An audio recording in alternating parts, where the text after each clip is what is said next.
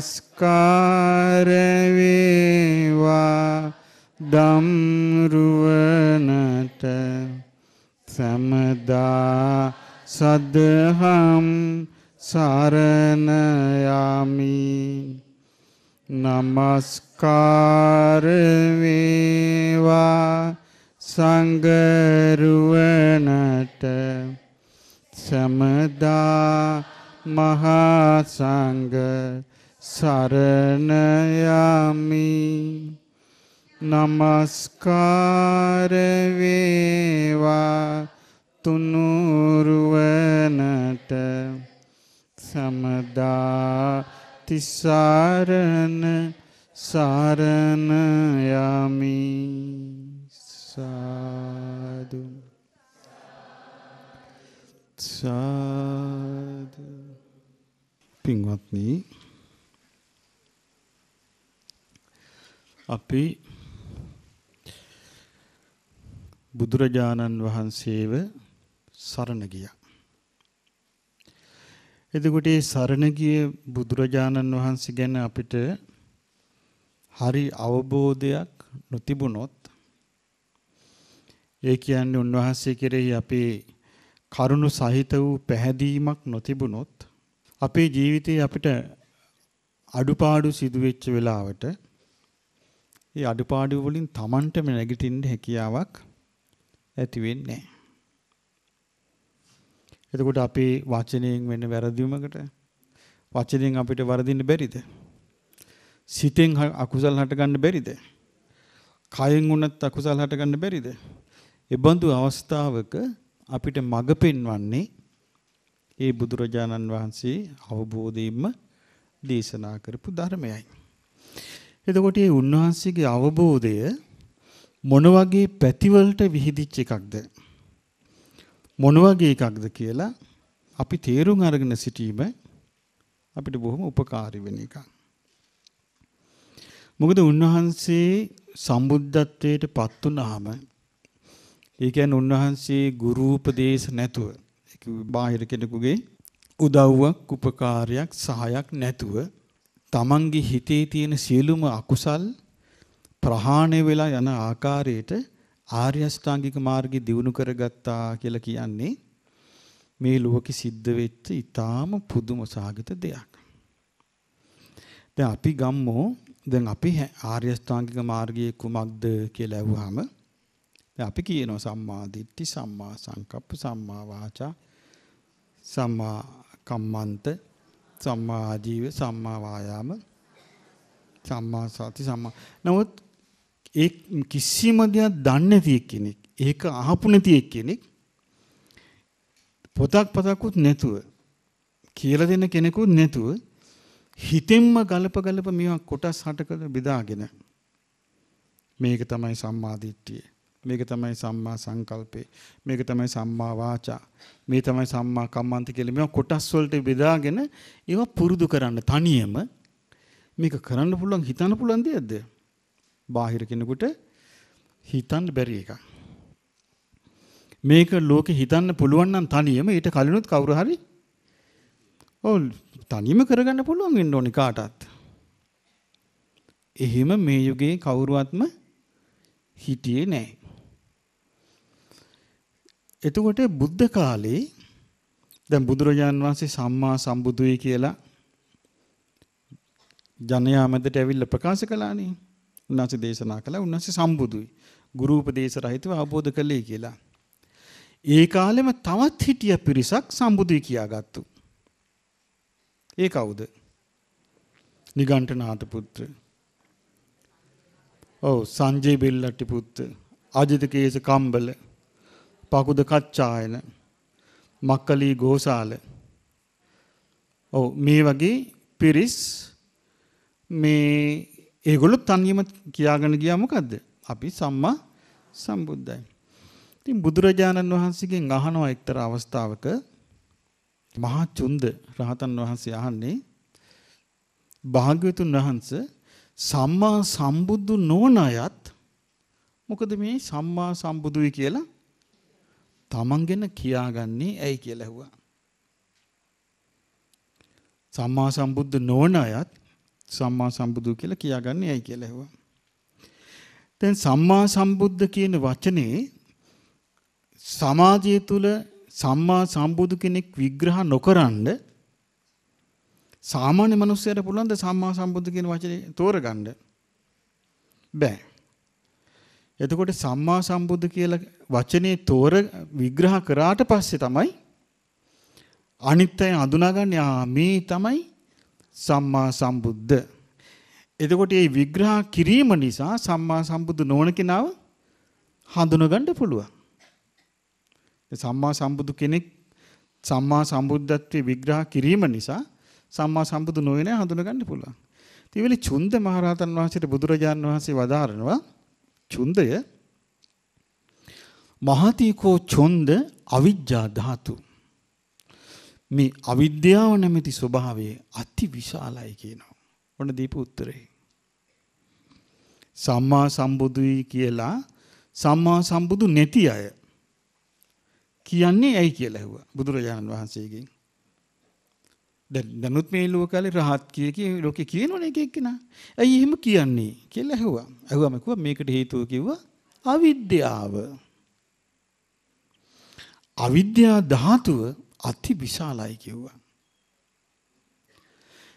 එතකොට උන්වහන්සේ උන්වහන්සේව හඳුන්වාගත් එක්තරා අවස්ථාවක අවිද්‍යාව නැමැති අණ්ඩකෝෂයෙන් අණ්ඩකෝෂය කියන්නේ මොකද්ද? බිජුවට. ඒ කිව්වේ බිත්තරේ. අවිද්‍යාව නැමැති බිත්තරේ පලාගෙන ඉස්සෙල්ලාම ආවා. ඒකේ බුදුරජාණන් වහන්සේ භික්ෂුන්ගෙන් අහනවා මහණෙනි බිත්තර ගොඩක් තියෙන එක තැනක. මේ බිත්තර සමූහයෙන් ඉස්සෙල්ලාම බිත්තර කටුව පලාගෙන යම් සතෙක් එළියට ආවොත් අර පිරිස අතර ඔහු වැඩිමල් නැද්ද? ඔහු ශ්‍රේෂ්ඨ නැද්ද? ඔහු ජේෂ්ඨ නැද්ද? ජේෂ්ඨයා. ශ්‍රේෂ්ඨ කෙනා වැඩිමලා. ඉතින් බුදුරජාණන් වහන්සේ වදාළ මහණෙනි මම ලෝකයේ ජේෂ්ඨ උනේ ශ්‍රේෂ්ඨ උනේ ඔතනින් කිව්වා. මොකද්ද ගුරු උපදේශයක් නැතුව තනියම අවිද්‍යාව සිඳ බිඳගෙන විද්‍යාව පහල කරගත්තු එක. අවිද්‍යාව සිඳ බිඳගෙන විද්‍යාව පහල කරගන්නවා කියලා කියන්නේ අතිශයින්ම විස්මයජනක දෙයක්. ඒ සාමාන්‍ය පරිසරය තුල විද්‍යාව පහල කරන්න ඉඩක් නැහැ. ඇයි? මුලාවට එන දේවල්මයි කියන්නේ. මුලාවට පත් වෙන දේවල්ම නෙමෙයිද මේ ලෝකේ කියන්නේ. පේන්න තියෙන්නේ මුලාවට පත් වෙන දේවල්. අහන්න තියෙන්නේ මුලාවට පත් වෙන දේවල්. හැමතිස්සෙම මුලාවට පත් වෙන දේවල් තියෙන්නේ. එතකොට සාමාන්‍ය උදාහරණයක් අපි කියමු තේරෙන්න. ඔන්න එක කාලයක් කිව්වා පොල් තෙල් කන්න එපා. ලෙඩ හැදෙනවා. කිව්වන් පස්සේ මුලා වුනේ නැද්ද මිනිස්සු? පොල් තෙල් කෑම නැවතුවා. දැන් කියනවා පොල් තෙල් හොඳයි. දැන් අපි දැන් පොල් තෙල් කන්න ගන්නවා. කාලයක් කිව්වා ෆ්ලෝරයිඩ් තියෙන දන්තාලෙපකින් මදින්න දත් වලට හරි හොඳයි. දැන් කියනවා ෆ්ලෝරයිඩ් නැති ඒවා මදින්න. දැන් මේ මුලාව නෙමෙයිද? එතකොට කන බොන දේවල් වලටත් මෙහෙම මුලාවක් නම් එක කාලෙකින් හොඳයි කියනවා ආයෙමත් ඒකම ගන්න එපා කියනවා. ඒකම නරකයි කියනවා.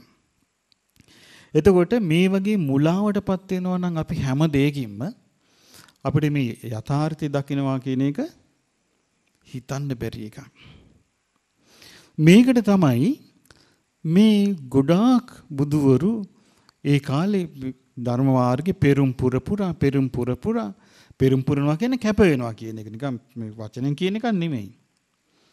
දැන් පෙරම් පුරනවා කියලා කියන්නේ කැප වෙනවා කියන එක. ඒ වෙනුවෙන්ම කැප වෙලා ගියපු අය. ඒ වෙනුවෙන් කැප වෙච්ච අය තමයි කාලයාගේ යවෑමේ ඒ ධර්මයේ සඳහා ඒ මෝරලා ගියේ. එතකොට ඒක ගැන තවත් හොඳම මේ එක්තරා අවස්ථාවක බුදුරජාන් වහන්සේ පෙන්වා දෙනවා කැපවීම ගැන කියනවා මහණෙනි කිකිලියක් බිත්තර දානවා. බිත්තර දාලා ওই කිකිලි බිත්තර රකින්නේ නැහැ. කිකිලි විනෝදින් ඉන්නව ඇවිද ඇවිද. නමුත් කිකිලිට අපේක්ෂාවක් තියෙනවා බිත්තර මෝරලා පැටව බිහි වේවා කියලා. කිකිලිගේ අපේක්ෂාව තිබ්බා කියලා පැටව බිහි වෙනවාද කියලා ඇහුවා. පැටව බිහි වෙන්නේ නැහැ. මොකද හේතුව? පැටව බිහි වෙන්න උවමනා ක්‍රමී බිත්තර දාලා විනෝදෙන් ඉන්න එක නෙමෙයි. මොකද්ද? ඒ දාපු බිත්තරේ රකින්න එක. තව කිකිලියක් ඉන්නවා මේ අදහෙට පැටව ලැබේවා කියන අදහසක් නැහැ. නමුත් මේ කිකිලි මොකද්ද කරන්නේ? බිත්තරේ වෙලාවට රකින්නවා. බිත්තරේ රකින්නකොට බිත්තරේට අවශ්‍ය දේ ලැබෙනවා. ඒකේ තියෙනවා බිත්තරේට අවශ්‍යයි අර කිකිලිගේ උණුසුම. ඒ කිකිලිගේ උණුසුමත් එක්ක කිකිලිගේ ස්පර්ශයයි කිකිලිගේ ඇඟේ එන මේ කිකිල් කුකුල් ගඳයි. ওই ටික බිත්තරේට ලැබෙනකොට බිත්තරේ හිමින් හිමින් මෝරනවා. මෝරනට පැටියා එනවා. ඒතර මේකෙන් අපිට තේරෙන්නේ නැද්ද? මේ උපමාවලින්, මේ බුදුරජාණන් වහන්සේගේ උපමාවලින් තේරෙන්නේ නැද්ද? මේක ප්‍රාර්ථනාවකින් ලබන්න බෑ කියලා. ප්‍රාර්ථනාවකින් ඒ වගේ දෙයක් ඒ වගේ දෙයක් ලබන්න බෑ කියන එක අපිට තේරුම් ගන්න පුළුවන්. අපිට ප්‍රාර්ථනාවකින් වෙන දෙයක් ලබන්න පුළුවන්ද? ගහක ගෙඩියක්. ගහක ගෙඩියක් ලබන්න පුළුවන්ද ප්‍රාර්ථනාවකින්? බෑ. මලක්? බෑ. නිරෝගීකම? බෑ. ඇඳුමක් හොදන එක? බෑ. බතක් උයා ගන්න එක? ප්‍රාර්ථනාවකින් පුළුවන්ද? ලිපේ තිබ්බ බත් හාල් ටික හොදලා ලිප පත්තු කරන්නේ නැතුව ප්‍රාර්ථනා කරනවා. බත පැසේවා. බත බත වෙලාවට ඉදෙයිද? නෑ. බත ඉදව ගන්න කැමති එක්කෙනා මොකද්ද කරන්නේ? ඒ බත ඉදෙන්න උවමනා දේවල් ටික එයා නිස්සද්දව කරන්න ඕනේ. රටටම අඬ පෙර ගහලා ඔන්න බලන්න මං අද බතක් උයනවා. කියලා අලුත් මුට්ටියකුත් ගෙනල්ලා ලිපත් හදලා හාලුත් ගරලා තියලා හැමෝටම කී කී විනෝදෙන් ඉන්නවා. දැන් බත ඉදෙයි මං ඔක්කොම ලෑස්ති කරලා තියෙන. හැබැයි ගින්දර දැම්මේ නැහැ. බත ඉදෙයිද? ආනේ වගේ අපිට කවදාවත් මේ ಗುಣධර්ම කියන ඒවා කටින් කෑ ගහලා ගන්න බෑ. ඒවා ගන්න දැන් බලන්න බුදුරජාණන් වහන්සේ ධර්ම දේශනා කළේ මොන විදියටද කියලා අපිට තේරුම් ගන්න පුළුවන්. උන්වහන්සේට ලැබුණා දැන් උන්වහන්සේ සම්බුද්ධත්වයට පත් වෙලා උන්වහන්සේ ධර්මයේ දේශනා කරන්න ඉස්සල්ලාම පසුබට වුණානේ. ඔබ දන්නා උන්වහන්සේ පසුබට වුණා ධර්ම දේශනා කිරීම. පසුබට පසුබට වෙන්න හේතුව මොකෝ? උන්වහන්සේ රාජායතනයේ අජපාල නුගරක ළඟට ඇවිල්ලා එතනදී තමයි උන්වහන්සේ කල්පනා කළේ මේ මම මේ අවබෝධ කරගත්තු ධර්මයේ බොහොම සියුම් ගැඹුරුයි. නමුත් මේ ධර්මයේ මේ තෘෂ්ණාවේ බැසගත්තු තෘෂ්ණාවෙන්ම සතුටු වෙ ඉන්න මේ මිනිසුන්ට මේ ධර්මය අවබෝධ කරගන්න පුළුවන් වේවිද? මම මේ ධර්මයේ කියන්න ගියොත් මට වෙහෙසක් වේවිද? මිනිස්සු අවබෝධ කරගන්න එකක් නැද්ද? එතකොට මේ ලෝකේ මනුස්ස ලෝකේ මේක දන්නේ නැති වුණාට බලාගෙන හිටිය වෙන ලෝකික. ඒ කොහේද? ඔව් දෙවියන් බඹුන් බලාගෙන හිටියා. මේ බුදුරජාණන් වහන්සේ සම්බුද්ධත්වයට පත් වෙලා ඒ සම්බුද්ධත්වයට පත් වෙන එකත් උන්වහන්සේලා ඔක්කොම ද මිනිස් ලෝකෙ මිනිස්සු දන්නේ. මේ බුදු කෙනෙක් පහළ වුණා කියලා මිනිස්සු දන්නේ. ඒතර ඒක දන්නේ දෙවියෝ දන්නවා බ්‍රහ්ම රාජයෝ දන්නවා. නමුත් ඒගොල්ලෝ දැන් බලාපොරොත්තුෙන් ඉන්නවා ධර්ම දේශනා කරනකම්. නමුත් උන්වහන්සේ සූදානම් නැහැ.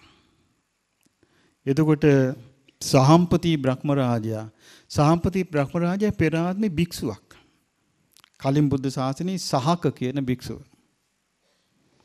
සහක කියන අනාගාමී භික්ෂුව තමයි බඹල උපන්නේ සහම්පති බ්‍රහ්ම රාජයා වෙලා. දේශනාවේ තියෙනවා. ඒතර මේක නොදන්නා හිතන මේක Hindu සංකල්පයක් රින් ගෙවුවා කියලා. මේ බ්‍රහ්ම රාජී සම්බන්ධ කළා. දා අහපු නැති අය ධර්මයේ හොඳට කියවපු නැති අය බාගෙට කියවපු අය හිතන්න පුළුවන් මේ මේ මොකටද මේ ධර්ම දේශනා කරන මේ බ්‍රහ්මීක් මැදිහත් කරගත්තේ මේකට කියලා. නෑ සහක කියන භික්ෂුවේ සහම්පති කියලා උපන්නේ. ඉතින් සහම්පති බ්‍රහ්ම රාජය ඇවිල්ලා කියනවා අනේ මේ ලෝකේ නැසී ආවේ.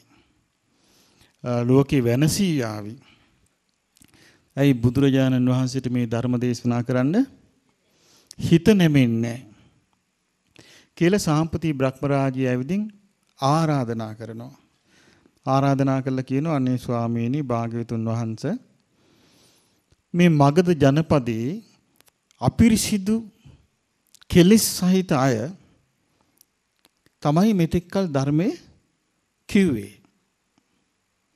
ඒ නිසා බෝහන්සේ මේ ප්‍රඥාවෙන් කළ ප්‍රාසාදයට නැගලා මේ දුක්ඛිත ලෝක සත්වයා දෙස බලන්න.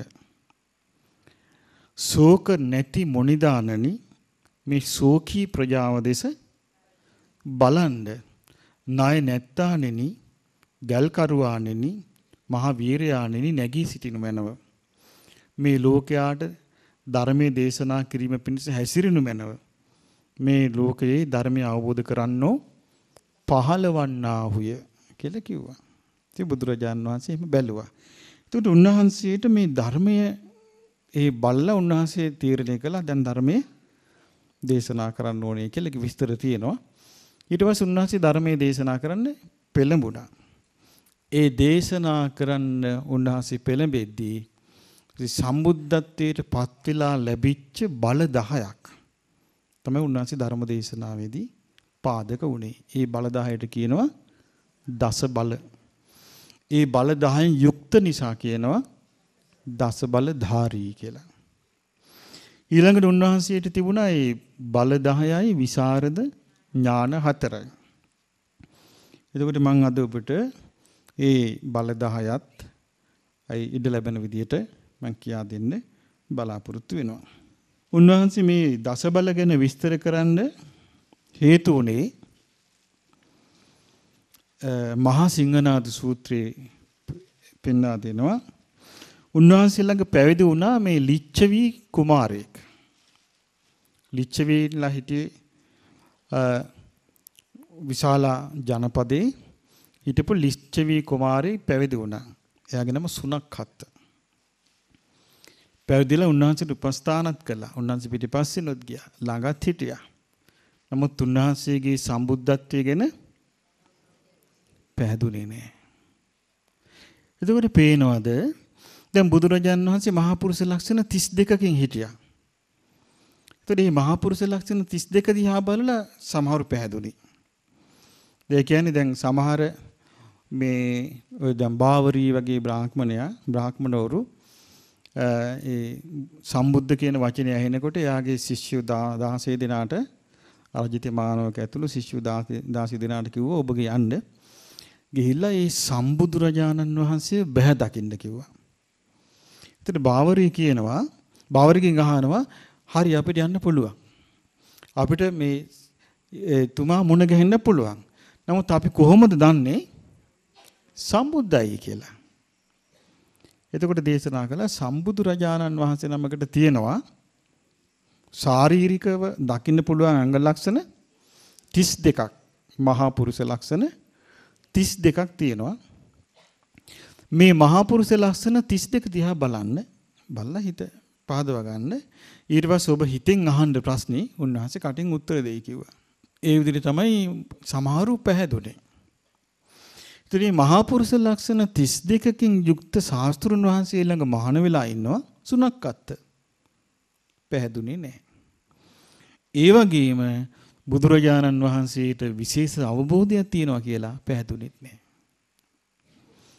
එයා කියන්න ගත්ත පිරිස මැද්ද ගිහිල්ලා මම එතන මහානලා හිටියෙක් කෙනෙක්. මම ශ්‍රමණ ගෞතමයන් ළඟ පැවිදි වෙලා හිටියේ. මම ශ්‍රමණ ගෞතමයන් ළඟින් ඇසුරු කළා. මම පස්සෙන් ගියා. නත්ති සමනස්ස ගෝතමස උත්තරී මනුස්ස ධම්මා ආලඥාරි ඥාන දර්ශන විශේෂෝ. ශ්‍රමණ ගෞතමයන්ට ඔව් උතුරු මිනිස් දාමක් විශේෂ ඥාන දර්ශනයක් මොකවත් නෑ. මේ කවුද කියන්නේ? ළඟ හිටපු එක්කිනා. තක්ක පරියාවතං සමනෝ ගෝතමෝ ධම්මං දේශේති විමංසානුචරිතං සයම් පටිවහනං ශ්‍රමණ ගෞතමයන් වහන්සේලා තියෙන්නේ තර්කණ හැකියාව. ප්‍රතිභානය විමර්ශනේ ඒකින් තමයි වේ කියන්නේ. ඊට පස්සේ කියනවා යස්ස චක්වාස්ස අත්ථාය ධම්මෝ දේශිතෝ සෝ නීයාති තක්කරස සම්මා දුක්ඛ khයායාති කියනවා හැබැයි ඒ ධර්මයේ යම් අර්ථයක් පිණිස දේශනා කරනවාද? ඒ ධර්මයේ පුරුදු කරන එක්කෙනාට ඒක ලැබෙනවා. කියලා කිව්වා. මෙහෙම කියාගෙන ගියා. දැන් මේක සාරිපුත්යන් වහන්සේටත් ආරංචි වුණා. මේ යෝධයා මේක කියන හැමතැනම ගිහින්. බුදුරජාණන් වහන්සේ සෑහෙන්න මහන්සි ගත්තා ඔය සුනක්කත්තගේ ඔය අදහස නැති කරන්න දුරු කිරීමට දීඝනිකායේ බලන්න ඔබ පාථික සූත්‍රයේ ඒකේ බොහොම ලස්සනට විස්තර කරනවා ඒක අපේ පරිවර්තනයේ තියෙනවා බොහොම ලස්සනට විස්තර කරනවා මේ සුණක්කත්තගේ මේ දෘෂ්ටි නැති කරන්න ගන්න මහන්සිය. නමුත් මේ අවාසනාවන්ත පුද්ගලයාට ඒක කරගන්න බැරුව ගියා. ඒ කියන්නේ එතකොට අපිට පේනවා එකල මහා පින්වන්තව හිටපු ප්‍රදී පරිසරයේ තුලත් පැවිදි වෙලා දෙතිස් මහා පුරුෂ ලක්ෂණ දරා වැඩ සිටියේ බුදුරජුන් ළඟ ඉඳලත් ඒ ධර්මය අහලත් උන්වහන්සේ ප්‍රාතිහාරි පෙන්නලත් හිත පැහැදුන්නේ එහෙනම් අපිට මේ කාලේ සියල්ලෝම හිත පහදිනවා කියන එක බලාපොරොත්තු වෙන්න බෑ. නමුත් හිත පැහැදුනොත් කෙනෙකුගේ ඒ පැහැදීමේ ප්‍රතිඵලය ලබන්නේ බාහිර කෙනෙක් නෙමෙයි. තමා. ඒ තමන් මේ බුදුරජාණන් වහන්සේ දැන් පිරිනුවම් පාලා. උන්වහන්සේ දැන් බලාගෙන ඉන්නවද? අපි සරණ ගියාද? සරණ කඩා ගන්නවද? සරණ බිඳ ගන්නවද? මොකද උන්වහන්සේ පිරිනුවම් පාලා ඒ අමානිවන් පුරේ ඉඳලා බලන් ඉන්නවද අපි දිහා? නෑ. එහෙනම් පැහැදුනොත් වාසියේ තියෙන්නේ කාටද? තමාට. ඉතින් සාරිපුත්යන් වහන්සේ බුදුරජාන් වහන්සේට ගිහින් කියා හිටියා ස්වාමීනි භාග්‍යතුන් වහන්සේ මේ සුණක්කත්ත ලිච්ඡවි පුත්‍රයා මෙන්න මෙහෙම කතාවක් කියාගෙන යනවා. කියලා කිව්වා. එතකොට බුදුරජාණන් වහන්සේ වදාලා මේ සාරිපුත්තය ওই සුණක්කත්ත ක්‍රෝධ සහිත පුද්ගලෙක් කිව්වා. ක්‍රෝධ කරන කෙනෙක් කිව්වා. හිස් පුද්ගලෙක් කිව්වා. ඒතර ධර්මය අවබෝධ කරගන්න තියෙන බාධාවක් ඔන්න එතන කියුණා. මොකද්ද? ක්‍රෝධ සිත් ඇති බව. ඒ කියන්නේ සිත ගැටිච්ච ගමන් ඇතම් කෙනෙක් සම්පූර්ණ ධර්මයක් අතාරිනවා. ධර්ම ඉගෙනිල්ලත් අතාරිනවා. ධර්ම ශ්‍රවණයත් අතාරිනවා. බුදුරජාන් වහන්සේ අතාරිනවා.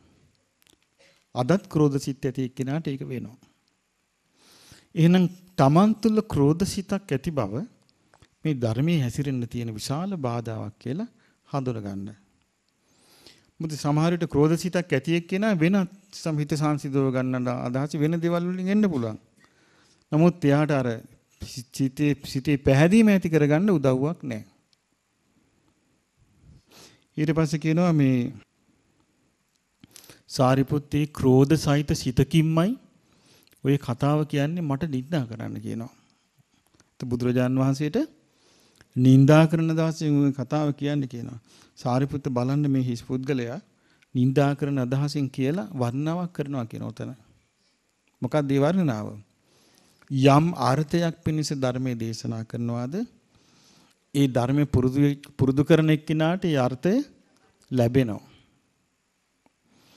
ඊට පස්සේ සාරිපුත්යන් වහන්සේට බුදුරජාණන් වහන්සේ දේශනා කරනවා අයම්පිහි නාම සාරිපුත්ත සුනක්කත්ත මොග්ග පුරිසස්ස මයි ධම්මන් වියෝ ධම්මන් වියෝ නභවිෂති සාරිපුත්‍රය මේ සුනක්කත්ත හිස් පුද්ගලයාට මගේ ධර්ම ස්වභාවයේ වැටහුනේ නැහැ කියනවා. ඒතර බුදුරජාන් වහන්සේගේ ධර්ම ස්වභාවය මොකද්ද? ඉතිවිසෝ භගවා අරහං මෙසේ භාග්‍යවතුන් වහන්සේ අරහං සම්මා සම්බුද්ධෝ ඒ කිව්වේ සම්මා සම්බුද්ධයි. විද්‍යාචරණ සම්පන්න විද්‍යාචර විද්‍යා අෂ්ට විද්‍යා ඒ චරණ ධර්මයන්ගෙන් යුක්තයි. සුගතෝ ලෝකවිදු අනුත්තර පුරිස ධම්ම සාරති සත්තා දේව මනුස්සාන බුද්ධෝ භගවා මේ ගුණයන්ගෙන් යුක්තයි. එතකොට අපි ඉස්සල්ලාම මේ අපි සරණ ගිය බුදුරජාණන් වහන්සේ මේ ගුණ නමෙන් යුක්තයි කියලා අපි හිත පහදවා ගන්න ඕනේ. මේක චක්‍රයක් වගේ එකක් නෙමෙයි. චක්‍රය කොහොමද අපි කියන්නේ දෙවරක් එක දෙකයි. දෙවරක් දෙක හතරයි. දෙවරක් තුන හයයි. එහෙමනේ කියාගෙන යන්නේ. ඒ වගේ එකක් නෙමෙයි මේක. මේක කරුණු මෙනෙහි කරලා කරුණු තේරුම් අරන් කරුණු සලකලා තමයි මේ ಗುಣ තේරුම් ගන්නේ. එහෙම තේරුම් ගැනීම තුළ තමයි අපේ හිතේ පැහැදීම ඇති වෙන්නේ. දැන් අපි සාමාන්‍යයෙන් හිත බය වුණාම ඉදිපිසු භගවා අරහන් කියලා එහෙම කියනවා තමයි. නමුත් ඒකෙන් අපිට රැකවරණයක් තියෙනවා. නැත්තේ නෑ. නමුත් අපිට අකුසල් දුරු කරන්න නම් කුසල් වඩන්න නම් අපේ අපේ හිතේ අපේ සිත කය වචනේ ඍජු කරගන්න නම් මොකද අපේ හිතේ සිත කය වචනේ ස්වභාවය ඍජු වෙන ගතියද වක්‍ර වෙන ගතියද වක්‍ර වෙන ගතියක් මේ හිත කය වචනේ තියෙනවා මේ හිත කය වචනේ ඍජු කරගන්න එක තමයි මේ ධර්මයෙන් කරන්නේ. ඒතකොට හිත කය වචනේ ඍජු වෙන්න නම් එයාට තියෙන්න ඕනේ මේ අර ලාභ පාඩු දෙකම සමසේ පිළිගන්න හැකියාවක්. එහෙම නැතුව සිත කය වචනේ ඍජු වෙන්නේ නැහැ. ඒ සමහරවිට ලාභයේ උදිසා වංචනික වෙනවනේ මිනිස්සයා. ලාභයේ උදිසා වැරදි පිළිපිලි සද්ද නැතු ඉන්නවනේ. එහෙම වෙන්නේ නැද්ද? වෙනවනේ. සිතකය වචනේ ඍජු කරගන්න මේ ධර්මයෙන් උදව් වෙනවා. ඊට පස්සේ ඒක තමයි අපිට දිගටම උදව් උපකාර වෙන්නේ. ඊට පස්සේ බුදුරජාණන් වහන්සේ විස්තර කරනවා දසකෝ පනිමානි සාරිපුත්ත තථාගතස්ස තථාගත බලානි සාරිපුත්තය තථාගතයන්ට මේ තථාගත බල 10ක් තියෙනවා. යේහි බලෙහි සමන්නාගතෝ තථාගතෝ ඒ බලයන්ගෙන් යුක්ත තථාගතයන් වහන්සේ ආසබන් ඨානං පටිජානාති ශ්‍රේෂ්ඨ ස්ථානයටපත් වූ බව තමන් ලෝකයට ප්‍රතිඥා දෙනවා. පරිසාසු සිහිය නාදන් නදති. පිරිස් මැද්දේ ඔව් අභීත නාද ඒ කියන්නේ බය නැතුව කතා කරනවා. බ්‍රහ්මචක්කම් පවත්තේති. බ්‍රහ්මචක්‍රය කියලා කියන්නේ ආර්ය අෂ්ටාංග මාර්ගයට. නිවන් මඟ ප්‍රවර්තනය කරනවා. මොනවද 10? ඔන්න මේ 10 විස්තර කරනවා. පළවෙනි එක තමයි තථාගතෝ ඨානංච ඨානතෝ අට්ඨානංච අට්ඨානතු යථා භූතං පජානාති. ඔව් විය හැකි දේ විය හැකි දේ වශයෙන්ුත් විය නොහැකි දේ විය නොහැකි දේ වශයෙන්ුත් ඒ අයුරින්ම ඇත්ත ඇති සැටියෙන් දන්නවා. දැන් මේක අපිට බැලු බැලමට පේන්නේ සුළුපඩු එකක් වගේ. මේ සුළු එකක් නෙමෙයි මේ කියන්නේ. දැන් බලන්න බුදු කෙනෙක් බුදුරජාණන් වහන්සේ පෙන්වා දෙනවා එක සක්වලක බුදුවරු බුදුවරු දෙන්නෙක් පහළ වීම විය හැකි දෙයක්ද විය නොහැකි දෙයක්ද? විය නොහැකි දෙයක්. එමන විය හැකි දේ මොකද්ද? එක සක්වලක එක බුදුවරේ පහළ වීම විය හැකි දේ. ඊට ඒ වගේ බුදුරජාණන් වහන්සේ විය හැකි දේවල් පෙන්වා දෙනවා. ඊළඟට සම්බුද්ධත්වයට පත් වෙන්නේ පිරිමියෙක් පමණයි. ඒක තමයි විය හැකි දේ. විය නොහැකි දේ මොකද්ද? කාන්තාවක් බුදු වෙන්නේ එතකොට සක්දෙවිඳු කෙනෙක් වෙන්නේ පිරිමියෙක් පමණයි. ඒක විය නොහැකි දේ මොකද්ද? ස්ත්‍රියක් සක්දෙවිඳු වෙන්නේ බ්‍රහ්මෙක් වෙන්නේ පිරිමියෙක් පමණයි. ඒක විය නොහැකි දේ මොකද්ද? ස්ත්‍රියක් බ්‍රහ්මෙක් වෙන්නේ මාරෙක් වෙන්නේ පිරිමියෙක් පමණයි. ස්ත්‍රියක් මාරෙක් වෙන්නේ නැහැ. එතකොට මෙතන හරි පැහැදිලි මාරයා කියන්නේ පුද්ගලයෙක්. ඒ දේශනාවේ තියෙනවා ස්ත්‍රියක් මාරෙක් වෙන්නේ පුරුෂයෙක් මාරෙක් වෙන්නේ. එහෙමනම් කෙනෙක්. එහෙනම් මේ කෙලෙස් ගැන තියෙන සමහර විතන් ඉන්නෝනේ මේ කෙලෙස් වලට නිකන් සජීවත්වයක් ආරෝපණය කළා මේ පෙන්වනවා කියලා. ඒ ඒව නෑ. බුද්ධ දේශනාව හරි. උන්වහන්සේගේ අවබෝධය ඇත්ත එකක්. ඉතින් මේ විදිහට උන්වහන්සේ ඒ වගේම පෙන්වනවා ඒකේ යම් කිසි කෙනෙක් සිතෙන් කයෙන් වචනයෙන් කුසල් රැස් කරනවා. ඒක විය හැකි දේ මොකද්ද? එහි සැප විපාක ලැබෙන්නේය. විය නැහැකි දේ මොකද්ද? ඒ නිසා දුක් විපාක නැත්තේය. දුක් විපාක ලැබෙනවා කියන එක වෙන්න බෑ ඒකේ. ඒකේ තියෙන සැප විපාක. කෙනෙක් අකුසල් කරනවා. අකුසල් කළා දුක් විපාක ලැබෙන්නේ අකුසල් කරු දුක් විපාක ලැබෙනවා සැප විපාක ලැබෙන්නේ එතකොට බලන්න ඒක මොකද්ද ඨාන ඨානන් ඔව් ඒ කියන්නේ විය හැකි දේ විය හැකි දේ වශයෙන්ුත් විය නොහැකි දේ විය නොහැකි දේ වශයෙන්ුත් තියෙන බුදුරජාණන් වහන්සේගේ ඥානෙ මේ ඥානෙ උන්වහන්සේගේ දේශනාවල තියෙනවා. මම එක තැනක කියන්නම් උන්වහන්සේගේ දේශනාවක තියෙනවා. උන්වහන්සේ දේශනා කරනවා මේ මහණෙනි කෙනෙක් සිතින් කයින් වචනෙන් පව් රැස් කරනවා. පව් රැස් කරාම මේ පව් රැස් පව් රැස් කරපු එක්කෙනා ළඟට පිරිස රැස් වෙලා කියනවා අනේ මියා මරණින් මතු සුගතියේ උපදීවා. යහපතේ උපදීවා යහපත ලැබේවා කියලා එයාට එයාට වඳිනවා ප්‍රාර්ථනා කරනවා. ඇඳිලි බැඳගෙන ප්‍රාර්ථනා කරන බුදුරජාන් වහන්සේ දේශනා කරන මහණෙනි ප්‍රාර්ථනා කිරීම හේතුවෙන් වන්දනා කිරීම හේතුවෙන් පව් කර කෙනා සුගතියේ නොයයි. එයා සුගතිය යන්නේ කියනවා. ඒ යන්නේ කොහේද? දුගතිය. ඒකට උන්වහන්සේ උපමාවක් කියනවා. මොකද්ද? ඔව් ගලක් කෙනෙක් කෙනෙක් ජලාශයකට ගලක් අතාරිනවා. අතාරලා පිරිස වටේ ඉඳලා ඒ ගලට වැඳගෙන කියනවා අනේ පින්වත් ගල උඩට පැමිණේවා. උඩට පැමිණේවා. කවදාවත් උඩට එන්නේ ඒ කියන්නේ ඒක යමක් වෙන්නේ නැත්තම් වෙන්නේ නෑමයි. දැකදී උන්වහන්සේගේ අවබෝධය. ඒ ඨානං ඨානතෝ අට්ඨානං අට්ඨානතෝ යථාභූතං පජානාති කියන ඥානෙයි. ඒ ඥාණයෙන් තමයි උන්වහන්සේ ඒවා දේශනා කරන්නේ. ඊට පස්සේ උන්වහන්සේ දේශනා කරන හොඳට පින් කරන කෙනෙක් ඉන්නවා. මේ පින් කරන එක්කිනා කයින් වචනයෙන් සිතින් කුසල් රැස් කරපු එක්කිනා ළඟට ගිහිල්ලා පිරිස කියනවා අනේ ඔබ දුගතියට ආවා දුගතියට පැමිණේවා නිරේ උපදීවා කියලා. ඒ සුගතියට ගියපු එක්කෙනා නිරේ උපදිනවද? නිරේ උපදින්නේ එයා එක්ක දෙවියන් අතර එක්ක මිනිසුන් අතර එක්ක බබුන් අතර උපදිනවා. එතකොට බුදුරජාණන් වහන්සේ දේශනා කරනවා ඒ කෙනා මේ වගේ එකක් කියනවා. කලයකට ගිතෙල් දාලා මේ කලේ ජලාශයක ඇතුළට දාලා බිඳිනවා. බින්දහම මොකද වෙන්නේ? කඩ ටික යටට බහිනවා. තෙල් ටික උඩට එනවා.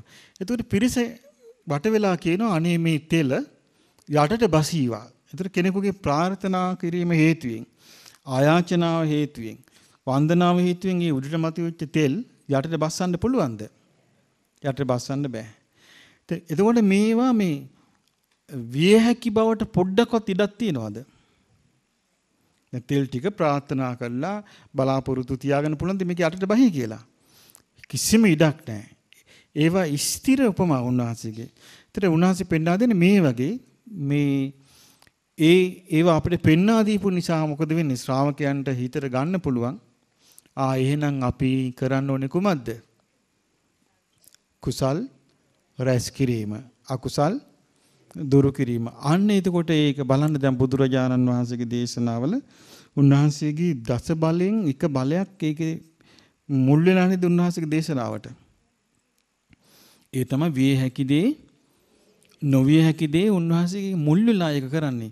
ඒක එතකොට හැම බුද්ධ දේශනාවක මේ ස්ථිර බව අඩමානෙට කරන වචන බුද්ධ දේශනාවල අඩමානෙට වචන නැහැ. ඒ අඩමානට වචන නැත්තේ ඒ උන්වහන්සේගේ තියෙන ඥාන නිසා. උන්වහන්සේ ඒ ඥානයේ පිහිටලා තමයි ධර්මයේ දේශනා කරන්නේ. එතකොට උන්වහන්සේගේ දේශනාවල අඩමානට වචන නැහැ. සම්පූර්ණ තියෙන්නේ. දැන් උන්වහන්සේ නිරේ ගැන විස්තර කරන දේශනා තියෙනවා. ඒක අපිට හම්බ වෙන්නේ ඊළඟ. උන්වහන්සේගේ තව ඥානයක් තියෙනවා. දෙවෙනි ඥානේ අතීත අනාගත වර්තමාන. ඒක අතීතේ. අනාගතේ කියන්නේ තව ඉස්සරහට. වර්තමාන කියන්නේ මේ ඉන්න අවස්ථාවේ කම්ම සමාදාන කරගත්තු කර්ම ඒ කිව්වේ කයින් වේවා වචනෙන් වේවා සිතින් වේවා කරගත්තු කර්ම හේතු වශයෙන් තැන් වශයෙන් විපාක විඳින හැටි ඒ විදියටම දන්නවා. මේක ගැන නම් හරිම පුදුම සහගතයි. මේ කර්ම විපාක ගැන විස්තර කරන විදිය උන්වහන්සේ එක තැනක විස්තර කරනවා මේ අර කෝකාලික කියන භික්ෂුව කෝකාලික දන්නවනේ කෝකාලික කියන භික්ෂුව වෛර බැඳගත්තනේ. කවුරු ගැනද වෛර බැඳගත්තේ? සාරිපුත්ත මහරහතන් වහන්සේ ගැනත් මහා මොග්ගල්ලාන මහරහතන් වහන්සේ ගැනත් වෛර බැඳගත්තා. වෛර බැඳගෙන නිඳා කළා. මොකද්ද කරපු නිඳාව ඔව් මේ දෙන්නා ලාමකයි කිව්වා. පවිටුයි කිව්වා. ඔව් ලාමක වූ ආසාවන්ගේ වසඟයට ගිහිල්ලා ඉන්නේ කිව්වා. කියලා කියාගෙන ගියා.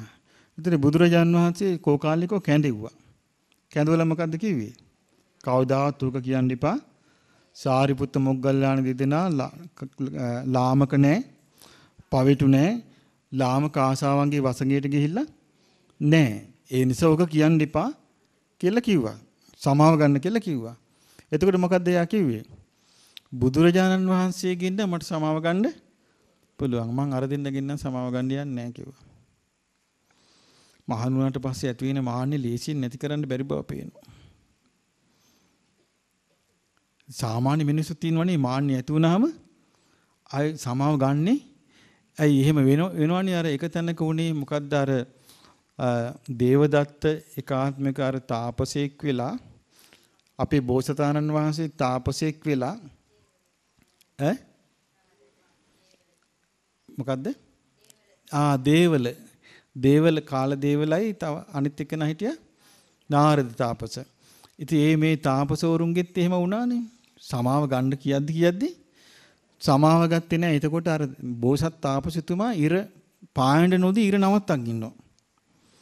ඒ ඉර නවත්තන් ඉන්න හේතුව දැන් අර ඒකට හේතුව මේමයි. කතාව දන්නව නේද? ඔන්න ඉස්සල්ලා මේ දේවදත්ත පෙර ආත්ම තාපසයා වෙලා ගිහිල්ලා ආගන්තුක ශාලාවකට ගියා. යන ගමන් ශාලාවක නැවතුණා. නැවතුණාම අපේ බෝසතාණන් වහන්සේත් ආවා. ආවට පස්සේ ඇහුවා ඒ කොම්බ අර බලන් හදන මිනිස්සයාගෙන් ඇහුවා අද මට මෙහි නවතන් දෙන්න පුළුවන්ද කියලා. වේලාසෙනින් එක්කෙනෙක් ඇවිල්ලා ඉන්නවා.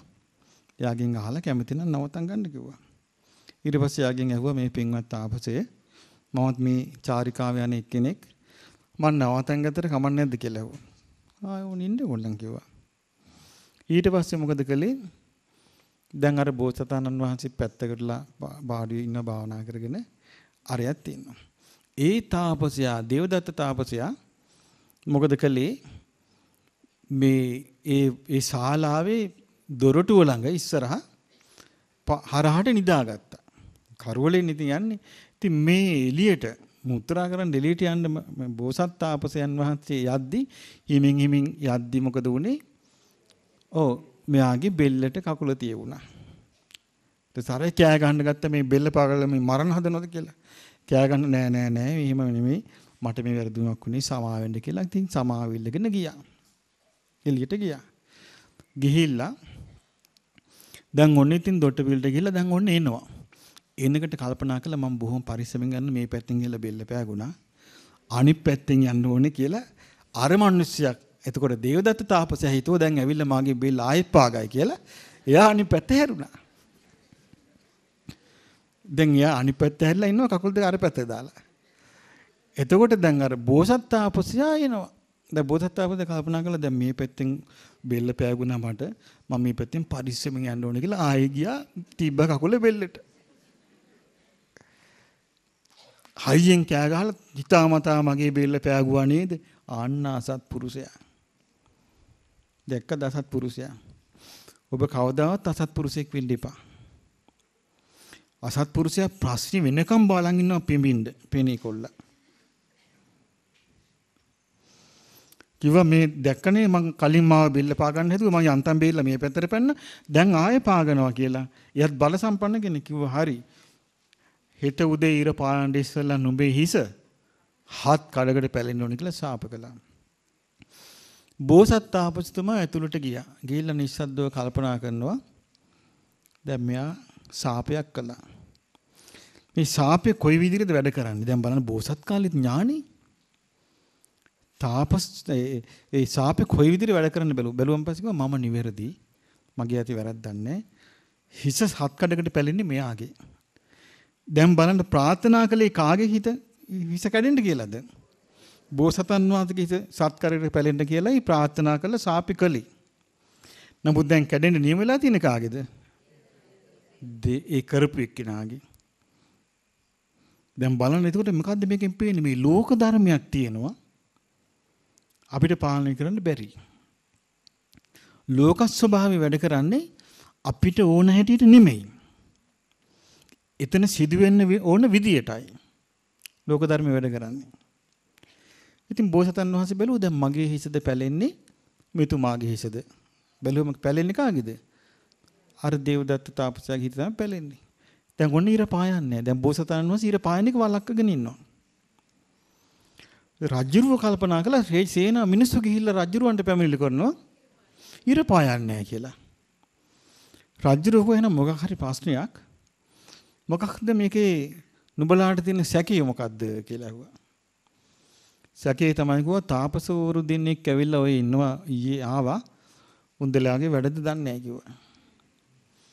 ඊට පස්සේ රජුරෝ ගිහිල්ලා තාපසුරු හම්බෙලා කිව්වා තාපසතුමනි මේ ඉර පායන්නේ මොකද්ද මේ කියලා කිව්වා. එතකොට මේ දැන් බෝසත්තුමා නිස්සද්ද ඉන්නවා. අර ඉස්සරහට පැනලා කිව්වා මෙහෙමයි මෙයා මගේ බෙල්ල පෑගුවා එකපාරක්. ඊට පස්සේ මෙයා මම ඒක වැලක්කුව සමාව දුන්නා ආයෙත් පෑගුවා. ඊට පස්සේ මම මෙයාගේ හිස සත් කඩකට පැලෙන්න කියලා කිව්වා. ඒක නිසා මොකක් හරි දන්නේ නැහැ කිව්වා. ඊට පස්සේ අර බෝසතාණන් වහන්සේගෙන් ඇහුවා. ඇහුවාම කිව්වා මෙන්න මෙම සිද්ධියක් වුණා. හිස ඉර නැග්ගොත් මෙයාගේ හිස හත් කඩකට පැලෙනවා. ඊට පස්සේ ඇහුවා මේක වළක්වන්න මොකද්ද කරන්න කියන්නේ. සමාව ගත්තත් පුළුවන් කිව්වා. ඉතින් බෝසතාණන් වහන්සේට අර බෝසත් තාපසයාගෙන් සමාව ගන්න කියලා දැන් රජුරුව ගිහිල්ලා පින්සින් දිනනවා. අර තාපසතුමාට. නෑ සමාව ගන්න නෑ. දැක්කද? සමාව ගන්න නෑ. රාජ්‍යරෝ සේවකයන්ට කිව්වා අල්ලගනින් කිව්වා මේ අද්දකින් අද්දකින් ඇදගන්න ඇදගෙන වරින් කිව්වා මෙතෙන්ට උලාපම් මේ හොම්බ බිම කිව්වා දැන් සමාව ගන්න කිව්වා ගත්තා බෝසතාණන් වහන්සේ කිව්වා හා දැන් ඉතින් මේ විදිහට මම සමාව දුන්නා. එයා ගත්තේ නෑ දැන්. අර බලේ වෙන කෙනෙක් තමයි සමාව ගෙන්නෙව්වේ.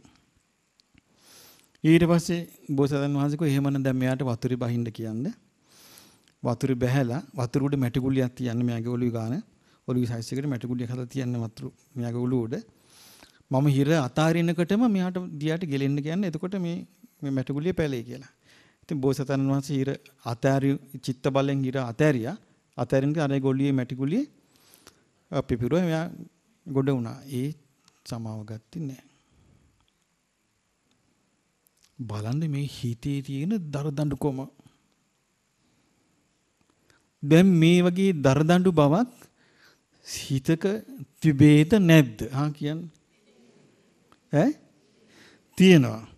මේ දරදඬු බව නැති මොලොක් බවක් ධර්මයෙන් හදලා. ධර්මයට විතරයි මේ සිත මෘදු කරන්න පුළුවන්. දැන් බලන්න ඒ ඒ කෝකාලික දරදඬු මොලොකුණේම නැහැ. සමාව ගංගම් කියලා කිව්වා. ගත්තේම නැහැ.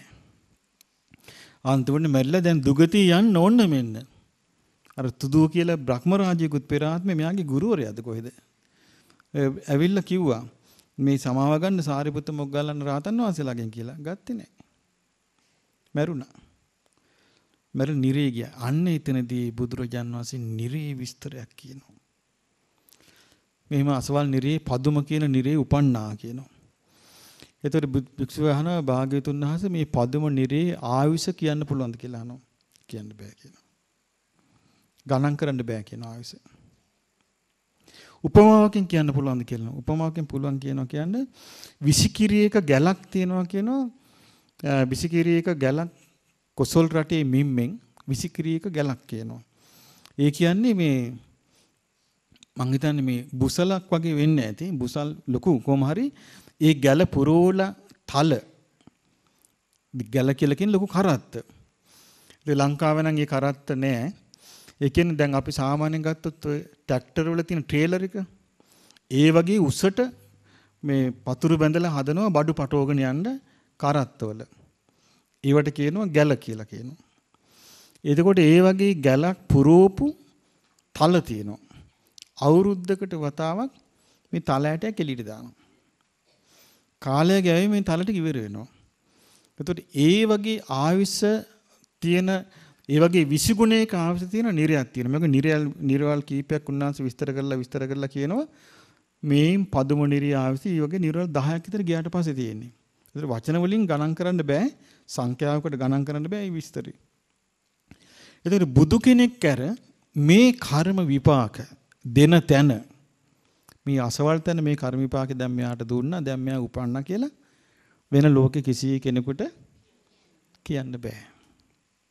වෙන කිසි කෙනෙකුට කියන්න බෑ. ඒක තමයි උන්වහන්සේට මේ කර්මය ගැන තියෙන ඥානෙ. ඒ නිසායි උන්වහන්සේ දේශනා කළේ තමන් තමන්ට ආදරේ නම්. ඒකේ හරි ලස්සනට පෙන්වා දෙනවා මේ සචේ භායසි දුක්ඛස්ස. ඉතින් දුකට බය නම්. සචේවෝ දුක්ඛමප්පියං. දුකට කැමති නැත්නම් අප්පිරිය නම් දුකට. මාකත්ථ පාපවකං කම්මං.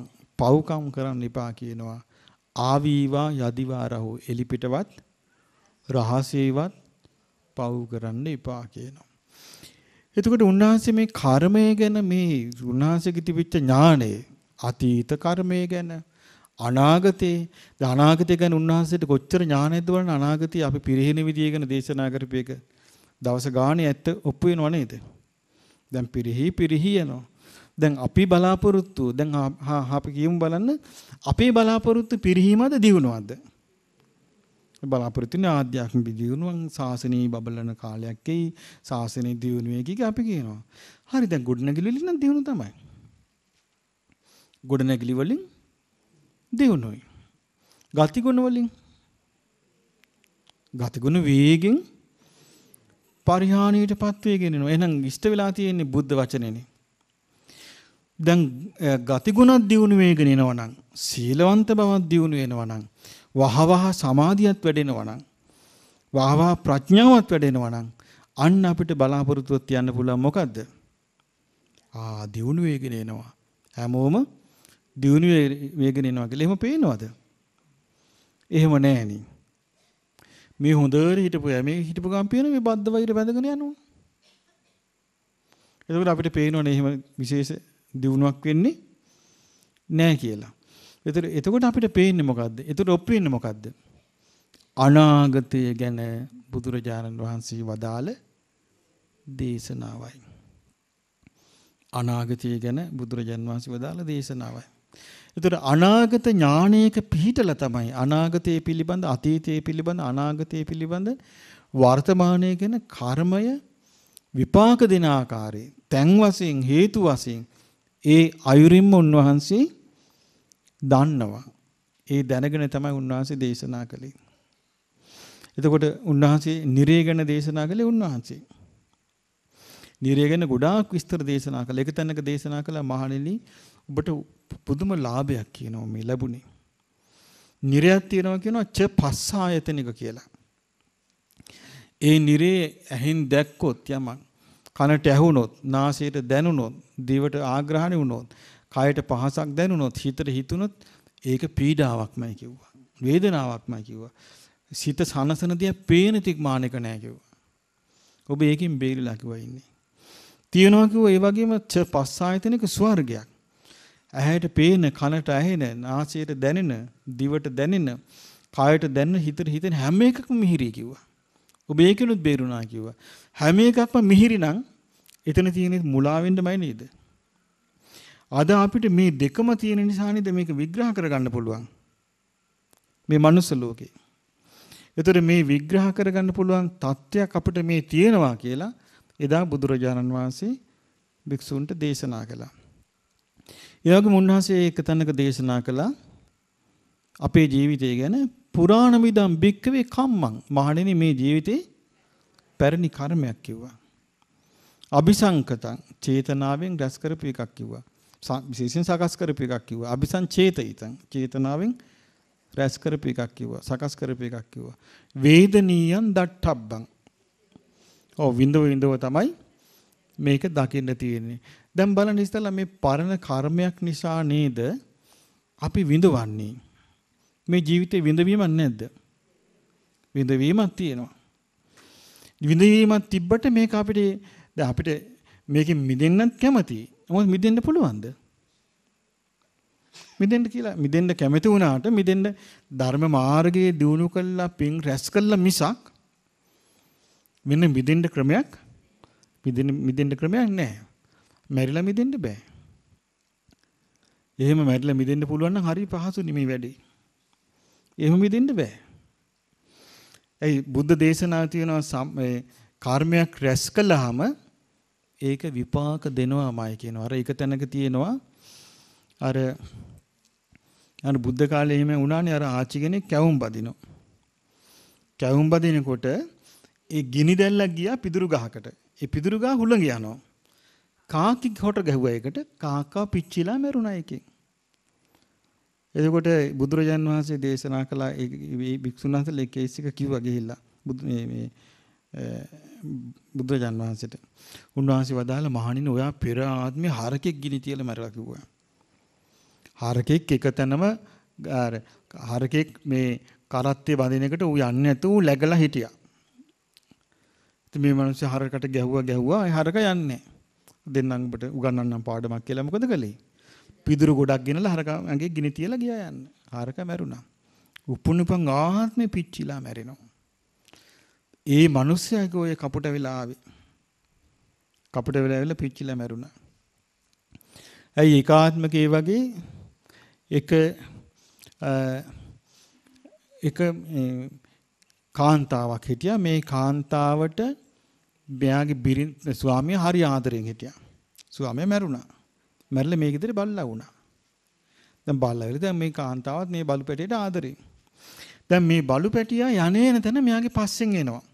එනකට ගමේ කොල්ලෝ මොකද කළේ? දාන්න යනකටත් මේ බල්ලා පස්සෙන් එන්නේ. දර කඩන්න යනකටත් පස්සෙන් එනවා. මැල්ලුම් කඩන්න යනකටත් පස්සෙන් එනවා. එතකොට කොල්ල විහිළු කළා මේ අලුත් සහකාරයෙක් හම්බ වෙලා නොයන් කියලා. හැබැයිටම බැලුවොත් කවුද? සහකාරය. දැන් මේ ගෑනු කෙනාට හරිය කේන්ති ගියා. මොන වදයක්ද මේ කියලා. ඒ දහක වරින් බලු පැටියු නාන්න යන්න කියලා එක්කන් ගියා. එක්කන් ගිහිල්ලා වැලි කලයක් බෙල්ලේ ගැට ගහලා මැදට ගිහිල්ලා දැම්මා. උපනුපන් ආන්නේ වැලි කලේ බෙල්ලේ බෙල්ලේ බැඳිලා මැරෙනවා.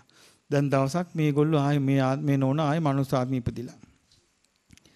දැන් යනවා නැවේ. නැවේ යනකොට නැව මොහොත මැද්දේ නැවතුණා. ඒ කාලේ නැවතුණාට පස්සේ තුණ්ඩු අදිනවා. දැන් කාලේ තුණ්ඩේ දුවුත් නම් හරිම ප්‍රශ්නයක් වෙයි. ඇයි? සෑහෙන පිරිසක් ඉඳි එකම තුණ්ඩුව. මොකද වුනේ? අන්න දැන් තුණ්ඩේ ඇදියාම නැව් කප්පිත්තගේ නෝනට මේ තුණ්ඩුව ආවේ.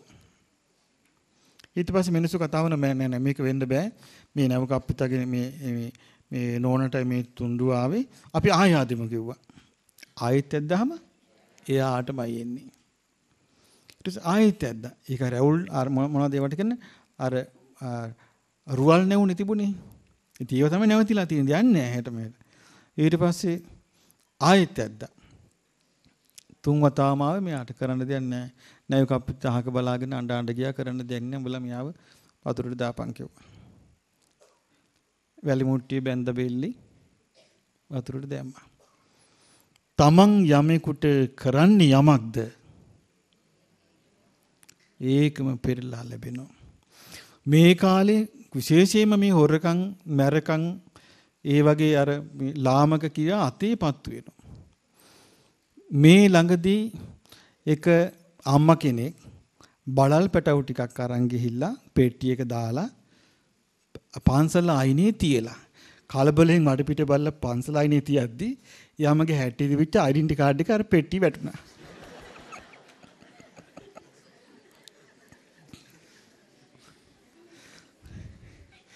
දැන් බලද්දි බල බලල් පැටවුත් ඉන්නවා ඩෙන්ටි කාඩ් එකක් තියෙනවා. අහු වුණා. හොරකම් කරන්න බෑ මේ කාලේ. ඒ හොරකම් කරලා හංගගෙන ඉන්න බෑ. ඔක්කොම එළියට එනවා. ඉක්මනට ඉක්මනට අකුසල් විපාක දෙනවා. දැන් බලන්නේ හංගන් ඉන්න බැරි විදිය.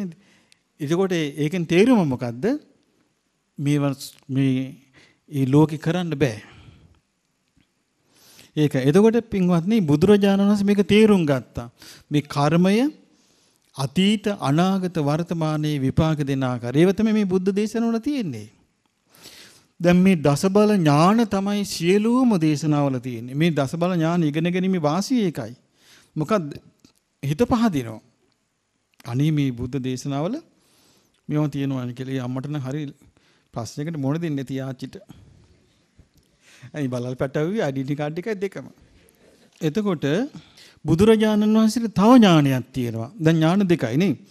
මොකද්ද විය හැකි දේත් නොවිය හැකි දේත් ඒ විදිහටම දන්නා ඥානෙ. තේරෙන භාෂාවෙන් මතක තියාගන්න. විය හැකි දේත් නොවිය හැකි දේත් ඒ විදිහටම දන්නා ඥානෙ පළවෙනි එක. දෙවෙනි එක තේරුම් ගන්න අතීත අනාගත වර්තමාන කර්ම විපාක විපාක වශයෙන් තැන් වශයෙන් ඒ විදිහටම දන්නා ඥානෙ. මොකද පළවෙනි එක පළවෙනි මොකද්ද? විය හැකි දේත් නොවිය හැකි දේත් ඒ විදියටම දන්නා ඥානෙ. මොකද අපිට හරි ප්‍රයෝජනයි මේක බුද්ධ දේශනා ඉගෙන ගන්න අයට. මේක මතක තියා ගැනීම. විය හැකි දේත් නොවිය හැකි දේත් ඒ විදියටම දන්නා ඥානෙ. මේ ටික තේරුම් ගත්තොත් අපිට හරි පරිස්සමෙන් ජීවත් වෙන්න පුළුවන්. දෙක අතීත අනාගත වර්තමාන කර්ම විපාක හේතු වශයෙන් තැන් වශයෙන් ඒ විදිහටම දන්නා ඥානෙ. ඥාන දෙකයි. ඊළඟ එක සීලු තැන්වල උපත පිණිස යන ප්‍රතිපදාව දන්නා ඥානෙ. හැම තැනම උපදින හැටි ඒ විදියටම උන්වහන්සේ දන්නවා. මේ තමයි මේ දේශනාවල තියෙන උන්වහන්සේගේ අවබෝධය තමයි මේ ධර්මයේ තියෙන්නේ මේ. ඒ කියන්නේ උන්වහන්සේ දන්නවා නිරේ යනවා නම් කෙනෙක් මේ නිරේ යන්නේ මේ විදියටයි කියලා උන්වහන්සේ දන්නවා. උන්වහන්සේකට උපමාවක් පෙන්වා දුන්නා. ගින්දර ගොඩක් තියෙනවා ගිනි ගොඩක්. මැරෙන්න අසතුටු පිපාසිත කෙනෙක් බඩගින්නේ ඉන්න පිපාසිත කෙනෙක් මැරෙන්න කැමති නැති කෙනෙක් පාරක යනවා. ඒ පාර තියෙන්නේ කොහෙටද? අර ගිනි අඟුරු වලට. එතකොට උන්වහන්සේ කියනවා ඇස් ඇත කෙනෙක් බලන් ඉන්නවා මේ දිහා. බලන් එකට පේනවා මේ කෙනෙක් පාරේ යනවා. දැන් අපි අපිටත් එහෙම පේනවා නේද සමහර අවස්ථාවල. අපි ගමු විශාල අනතුරක් තියෙනවා තැනක.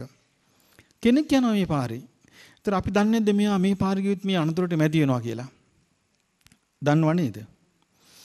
එතකොට අපි දැනගත්තොත් මොකද්ද අපි යාට කියන්නේ? ওই පාරේ යන්න එපා. ওই පාරේ මෙහෙම අනතුරක් තියෙනවා. දන්නේ නැති එහෙම මිනිස්සු අනතුරට භාජනය වෙන්නේ නැද්ද? අනතුරට භාජනය වෙනවා. බුදුරජාන් වහන්සේ දේශනා කරන උන්වහන්සේ පස්සේ දකින්නවා එයා නිරේ ඉපදිලා ඉන්නවා. ඉතින් මේ විදිහට අපි දන්න අය අපේ ඥාතීන් අපේ පෙර ආත්මවල ඥාතීන් කොයිතරම් පිරිසක් නිරේ ඇද්ද? අපි දන්නේ නැහනේ. අපි කොච්චර ඉන්නේ ඇද්ද ওই නිරේ? එතකොට බුදුරජාණන් වහන්සේ දේශනා කළ තව සමහරු ඒ ගත කරන ජීවිතේ එයා යන්නේ තිරිසන් අපායේ. ඒ ගත කරන ජීවිතේ කෙලවර වෙන්න මොකෙන්ද? තිරිසන් අපායේ සතෙක් වෙලා තමයි යා උපදලා ඉවර වෙන්නේ. සතෙක් වෙලා උපදිලා එයාගේ ජීවිතය ඉවර වෙන්නේ. ඉතින් කොච්චරනම් අර එක තැනක තියෙනවා අර බුදුරජාණන් වහන්සේගේ කාලේ මේ මහා පින්වන්ත අය. දැන් කොච්චර පින්වන්ත වුණත් හරි දේ නොලැබුණොත් එයාට නොමග යන්න පුළුවන්. බුද්ධ කාලේ එක තරුණයෙක් තරුණිය දෙන්නෙක් හිටිය යාළුවෝ දෙන්නෙක් මේ දෙන්න ගියා තපස් කරන තැනකට. තපස් වලට කියන ව්‍රත කියලා.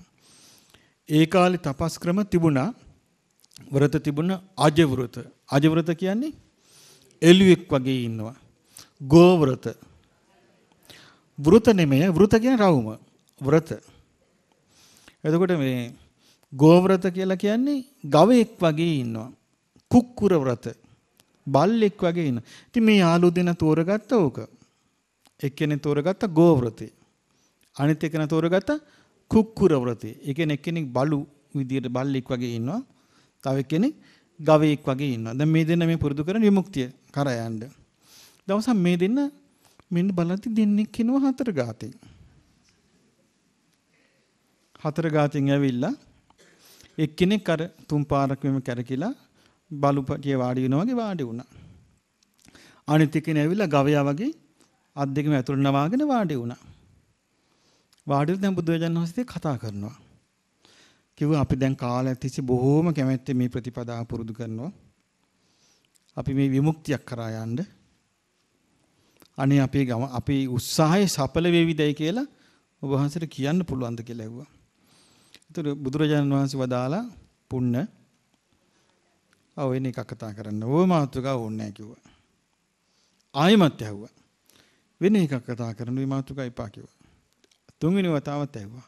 ඊට පස්සේ බුදුරජාන් වහන්සේ උදලා තුන්වෙනි වතාවත් ඇහුවා. දැන් ඕගොල්ලෝ දැන් අරයට කිව්වා කුක්කුර වෘත තියෙන කෙනාට කිව්වා දැන් ඔබ දැන් බල්ලෙක් වගේ තමයි දැන් බිමට දාපු දියා බල්ලෙක් වගේ කන්නේ.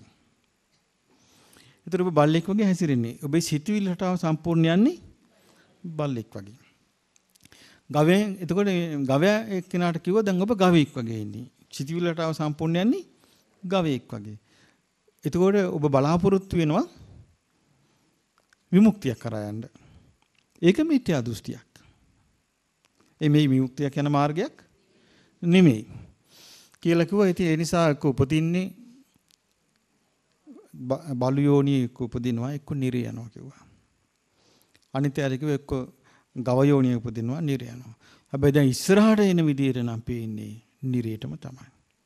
තිරිසන් අපායෙන්වත් බේරෙන්නේ නැහැ. අනාගත ලෝකේ නම් දැන් ওই මැද පෙරදිගවේ තියෙන ඒගොල්ලෝ කතා කරන රටාව බැලුවාම නිරේටම තමයි. ඒ කොහොමද මම දැක්ක එක තරුණ ළමයෙක් කියනවා එයා බෝම්බ බෝම්බයක් පුපුරවගෙන දැන් බෝම්බ ගොඩක් පොඩි අර කබල් ජිප් එක දාගෙන දැන් මම ඉස්සර වාඩි වෙලා ඩ්‍රයිවිං සීට් එකේ වාඩි වෙලා යා සුක්කාන මතින් අරන් කියනවා මට හරි සතුටුයි කියනවා මගේ ආගම වෙනුවෙන් මේ වගේ මරාගෙන මැරෙන්න මට හරි සතුටුයි මම දැන් තා පොඩ්ඩකින් මැරෙනවා තමයි මරාගෙන මම මේක පුපුරවන්න දැන් ඔක්කොම ලෑස්ති කරලා තියෙන්නේ. මම මේ මිසදිරි පිරිසක් මරාගෙන මැරෙන්නේ. මම හරි සතුටින් මට අප්සරාව 72ක් එහෙදි ලැබෙනවා කිව්වා. දැන් අප්සරාව 72 දෙන්නෙක් එක්ක විනෝද වෙන්න දැන් මම හිතන් ඉන්නේ. ඒතකොට හිත මුල් කරගෙන තියෙන්නේ කාමිට. හිතාගෙන ඉන්නේ අප්සරාව 72ක් ලැබෙනවා. ලැබෙන්නේ කොහොමද? තමන්ගේ ආගමික විශ්වාසය නැති එක්කෙනා විනාශ කරපන්. ඒතර එතකොට ද්වේෂයක් එතන තියෙනවා. ඒ ද්වේෂෙත් එක්ක තෘෂ්ණාවකුත් තියෙනවා. දෙකම මිත්‍යා දෘෂ්ටයි. මිත්‍යා දෘෂ්ටිකයි. එහෙම කියලා මට හරි සතුටුයි. එතකොට ඒ කොළුවාගේ වයස අවුරුදු 17ක් හරි 18ක් හරි. ගියා. ගිහලා පිපිරෙව්වා. එතකොට බලන්න මේ මිසදිටුව සම්මාදිට්ඨිය නෑ. දැන් බලන්න බුදුරජාණන් වහන්සේගේ ධර්මයේ තුන එක විස්තරයක් එහෙම එකක් තියෙනවා. දැන් ඔන්න නන්ද කුමාරයා නන්ද කුමාරයාට මේ ධර්මයේ සීකර ගන්න බැරි වුණානේ. ඒ බැරි වුණේ මොකද? ජනපද කල්යාණී අර පාත්‍රය අරන් බුදුරජාන් වහන්සේ පිටිපස්සෙන් වඩිද්දී ජනපද කල්යාණී ඔව් කිව්වනේ ආරිපුත්‍ර ඉක්මන්ට එන්නේ කිව්වා. දැන් මෙයාගේ හිතේ මේක හොල්මන් කරනවා. මොකද්ද? දැන් මාලිගාව විවෘත කරන්න තිබ්බා. විවාහදී මේ බඳින්න තිබ්බා. ඔව් ඔටුන පළඳින එක තිබ්බා. දැන් මේ ඔක්කොම නැතුව දැන් මේ මහාන වෙලා. ඊට පස්සේ මෙයා තනියම ඇස්වල අඳුන් ගන්නවා තනියම හැඩ වෙනවා. ඉතින් මේ ලස්සන කැටයන් දාපු පාත්‍රයක් අරන් ඉන්නවා. සිවුරට මේ සී අර සිග්සැක් සිස්ටම් එකට මහනවා. ඉතින් මේක දැන් බලාගෙන ගියාම දැන් ස්වාමීන් වහන්සේලා බුදුරජාණන් වහන්සේට පැමිණිය කළා භාග්‍යවතුන් වහන්සේ මෙහෙමයි මේ නන්දයන් වහන්සේ ඇස්වල අඳුන් ගාගෙන හැඩ හැඩ වැඩ ඇති සිවුරක් පුරවගෙන මේ පාත්‍රය ලස්සන තියන් ඉන්නවා කියලා. ඒකට පේනවා පැවිදි වුණාට ඉන්නේ කොයි ලෝකෙද? අර පරණ පරණ ලෝකේ තමයි දැන් හිතේ තියෙන්නේ. බුදුරජාන් වහන්සේ නන්දට කතා කරනවා. නන්ද කතා කළා මම මේ කල්පනා කළේ ඔය විකාර සිවුර අතෑරලා පඳු ගහපු මේ පාංශකුල සිවුරක් පොරවගෙන මැටි පාත්‍රයක් අරන් ওই ඇස්වල ගාගෙන ඉන්න අඳුන් හොදලා සාමාන්‍ය භික්ෂුවක් වගේ මේ නන්ද ගත කරන්නේ කවද්ද කියලා මම මේ කල්පනා කරන්නේ. දැන් ඒ නන්ද කුමාරයා දන්නවද තමන් මේ පෙරම් පුරාගෙන මොකේද කියලා? එයා දන්නේ නේක. දැන් බලන්න බුදුරජාණන් වහන්සේ සියල්ල යන පාර දන්නවා. ඊට පස්සේ නන්ද ගියා දැන් ආසාව තියෙන අර මේ මාලිගාවේ උටුන පැඳලා කවුද කුමාරි? ජනපද කල්යාණිත් එක්ක ලස්සනට ජීවිතය ගෙවන්නනේ. දැන් බුදුරජාන් වහන්සේ මොකද කළේ? නන්ද කුමාරයා එහෙනම් නන්ද අපි ගමනක් යන් කියලා මොකද කළේ? අතින් අල්ලගෙන තවතිසා දිව්‍ය ලෝකයට වැඩියා. තවතිසා දිව්‍ය ලෝකයට වැඩියාම ඔන්න සක්දෙවුන් දෙවිලෝ වන්දනා කරම මෙන්න දිව්‍ය දිව්‍ය අප්සරාව එනවා පුරකක පිරිස එනවා පිරිවර. මේන්නේ කාට වන්දනා කරන්නද? බුදුරජාණන් වහන්සේ වන්දනා කර හොඳට බැලුවා නන්ද කුමාරයා. හොඳට බලන්න කිව්වා නන්ද මේගොල්ලෝ දිහා. බැලුවා. පතුල් රෝස පාටයි. මේ ලස්සන දිවඟනලා. ඊට පස්සේ ඇහුව නන්ද දිව්‍ය ලෝකෙදිම ඇහුවා. නන්දර මේ ජනපද කල්යාණී මුන්දෙලයි බැලුවොත් මේ වෙනස මොකද්ද? කොහොමද වෙනස කියලා ඇහුවා. අනේ භාග්‍යවතුන් වහන්සේ මුන්දෙලා ඉදිරියේ ජනපද කල්යාණි කවුද කියලා ඇහුවා. අන්න එතන තමයි උපමාවක් කිව්වේ. නන්ද නන්ද ස්වාමීන් වහන්සේ උපමාවක් කිව්වේ. මොකද්ද? ඔව්. හේනක දාච්චි වෙන්දිරියක් වගේ කිව්වා මේ මේ මේ මේ දිව්‍ය අප්සරාව විසර. එතකොට බුදුරජාණන් වහන්සේ නන්ද ස්වාමීන් වහන්සේ උදල් නන්දය සීලේ ගුණයෙහි යෙදෙන්න ධර්මයේ හැසිරෙන්න මේ අප්සරාව 500ක් ඔබට ලැබෙයි කිව්වා. එතකොට අප්සරාව ලැබෙන ප්‍රතිපදාවක් එතන බොරුවක්ද හැබෑවක්ද? හැබෑවක්. එතකොට යම් කිසි කෙනෙක් ගුණධර්ම පිරුවොත් හරි විදියට දැන් බුද්ධ කාලේ එහෙම එකක් වුණා. එක භික්ෂුන් වහන්සේනම සීලමය ප්‍රතිපදාවකින් වාසය කළා. ධර්මයේ තුල වාසය කළා. භාවනා කර කර හිටියා. අපවත් වුණා. දිව්‍ය ලෝකේ උපන්න දිව්‍ය අප්සරාව ලැබිලා සිය ගාණක්. ඒ අප්සරාව බැලුව දැන් මෙහා මේ මේ මේ මේ මේ මේ දිව්‍ය රාජ්‍යයා මේ ඇස්සරලා බලන්නේ. ඇස්සරිය දැක්ක අප්සරාව ඇය වස් වහගත්තා. ඊට පස්සේ ඒ අප්සරාව ගිහිල්ලා මොකද කළේ? කන්නඩියක් ඇල්ලුවා මෝනට මේ බලන්න දැන් කියලා. බැලුවම කවුද? ස්වාමීන් වහන්සේ නෑ. දෙවියා ඉන්නේ. ඊට පස්සේ බුදුරජාන් වහන්සේට ගිහලා අනේ ස්වාමීනි මේ මලපිරීතිය වගේ පිරිසක් දැන් වට කරන් ඉන්නවා මාව. මට මේකෙන් ගැලවෙන්න ඕනේ කිව්වා. ධර්මය අවබෝධ කළා. ඒ වෙලාවේ බුදුරජාණන් වහන්සේ ධර්ම දේශනා කළා අවබෝධ කළා. දැන් එතකොට බලන්න ඒක නේද ඇත්ත විස්තරේ. එහෙනම් දෙවියන් අතරට යන්න මිනිස්සයාට අවස්ථාවක් නැද්ද? අවස්ථාවක් තියෙනවා. දැන් අපි සාමාන්‍යයෙන් ගම්මු කාලයක් තිස්සේ අපේ රටේ ඇහුවේ මේ දෙවි ලෝකෙ ගිහිල්ලා වැඩක් නැහැ. දෙවි කෙනෙක් කියලා වැඩක් නැහැ. පින් කරන්න බෑ එහෙමනේ. අපි සාමාන්‍යයෙන් සාක්කියක් ගමු අපිට පැහැදිලි සාක්කියක්. දන්න දෙවි කෙනෙක් ගැන.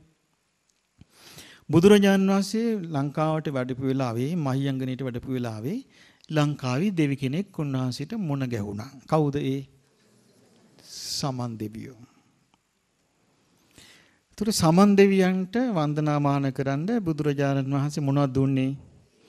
කේස ධාතු දුන්නා. එතකොට එහෙනම් දෙවියෝ ඒ කේස ධාතු අරගෙන මයංගනේ සෑයේ බැඳි නැද්ද? එතු දෙවියෝ පින් කරේ නැද්ද? දෙවියෝ පින් කළා. ඉතින් සමන් දෙවියෝ ආරාධනා කළා තමන්ගේ භවනට වඩින්න කියලා. ශ්‍රීපාදයට වැඩියා. වැඩලා ඉන්ද්‍රනීල මාණික්‍යයක් මැද්දේ සිරිපතුල පිහිටෙව්වා.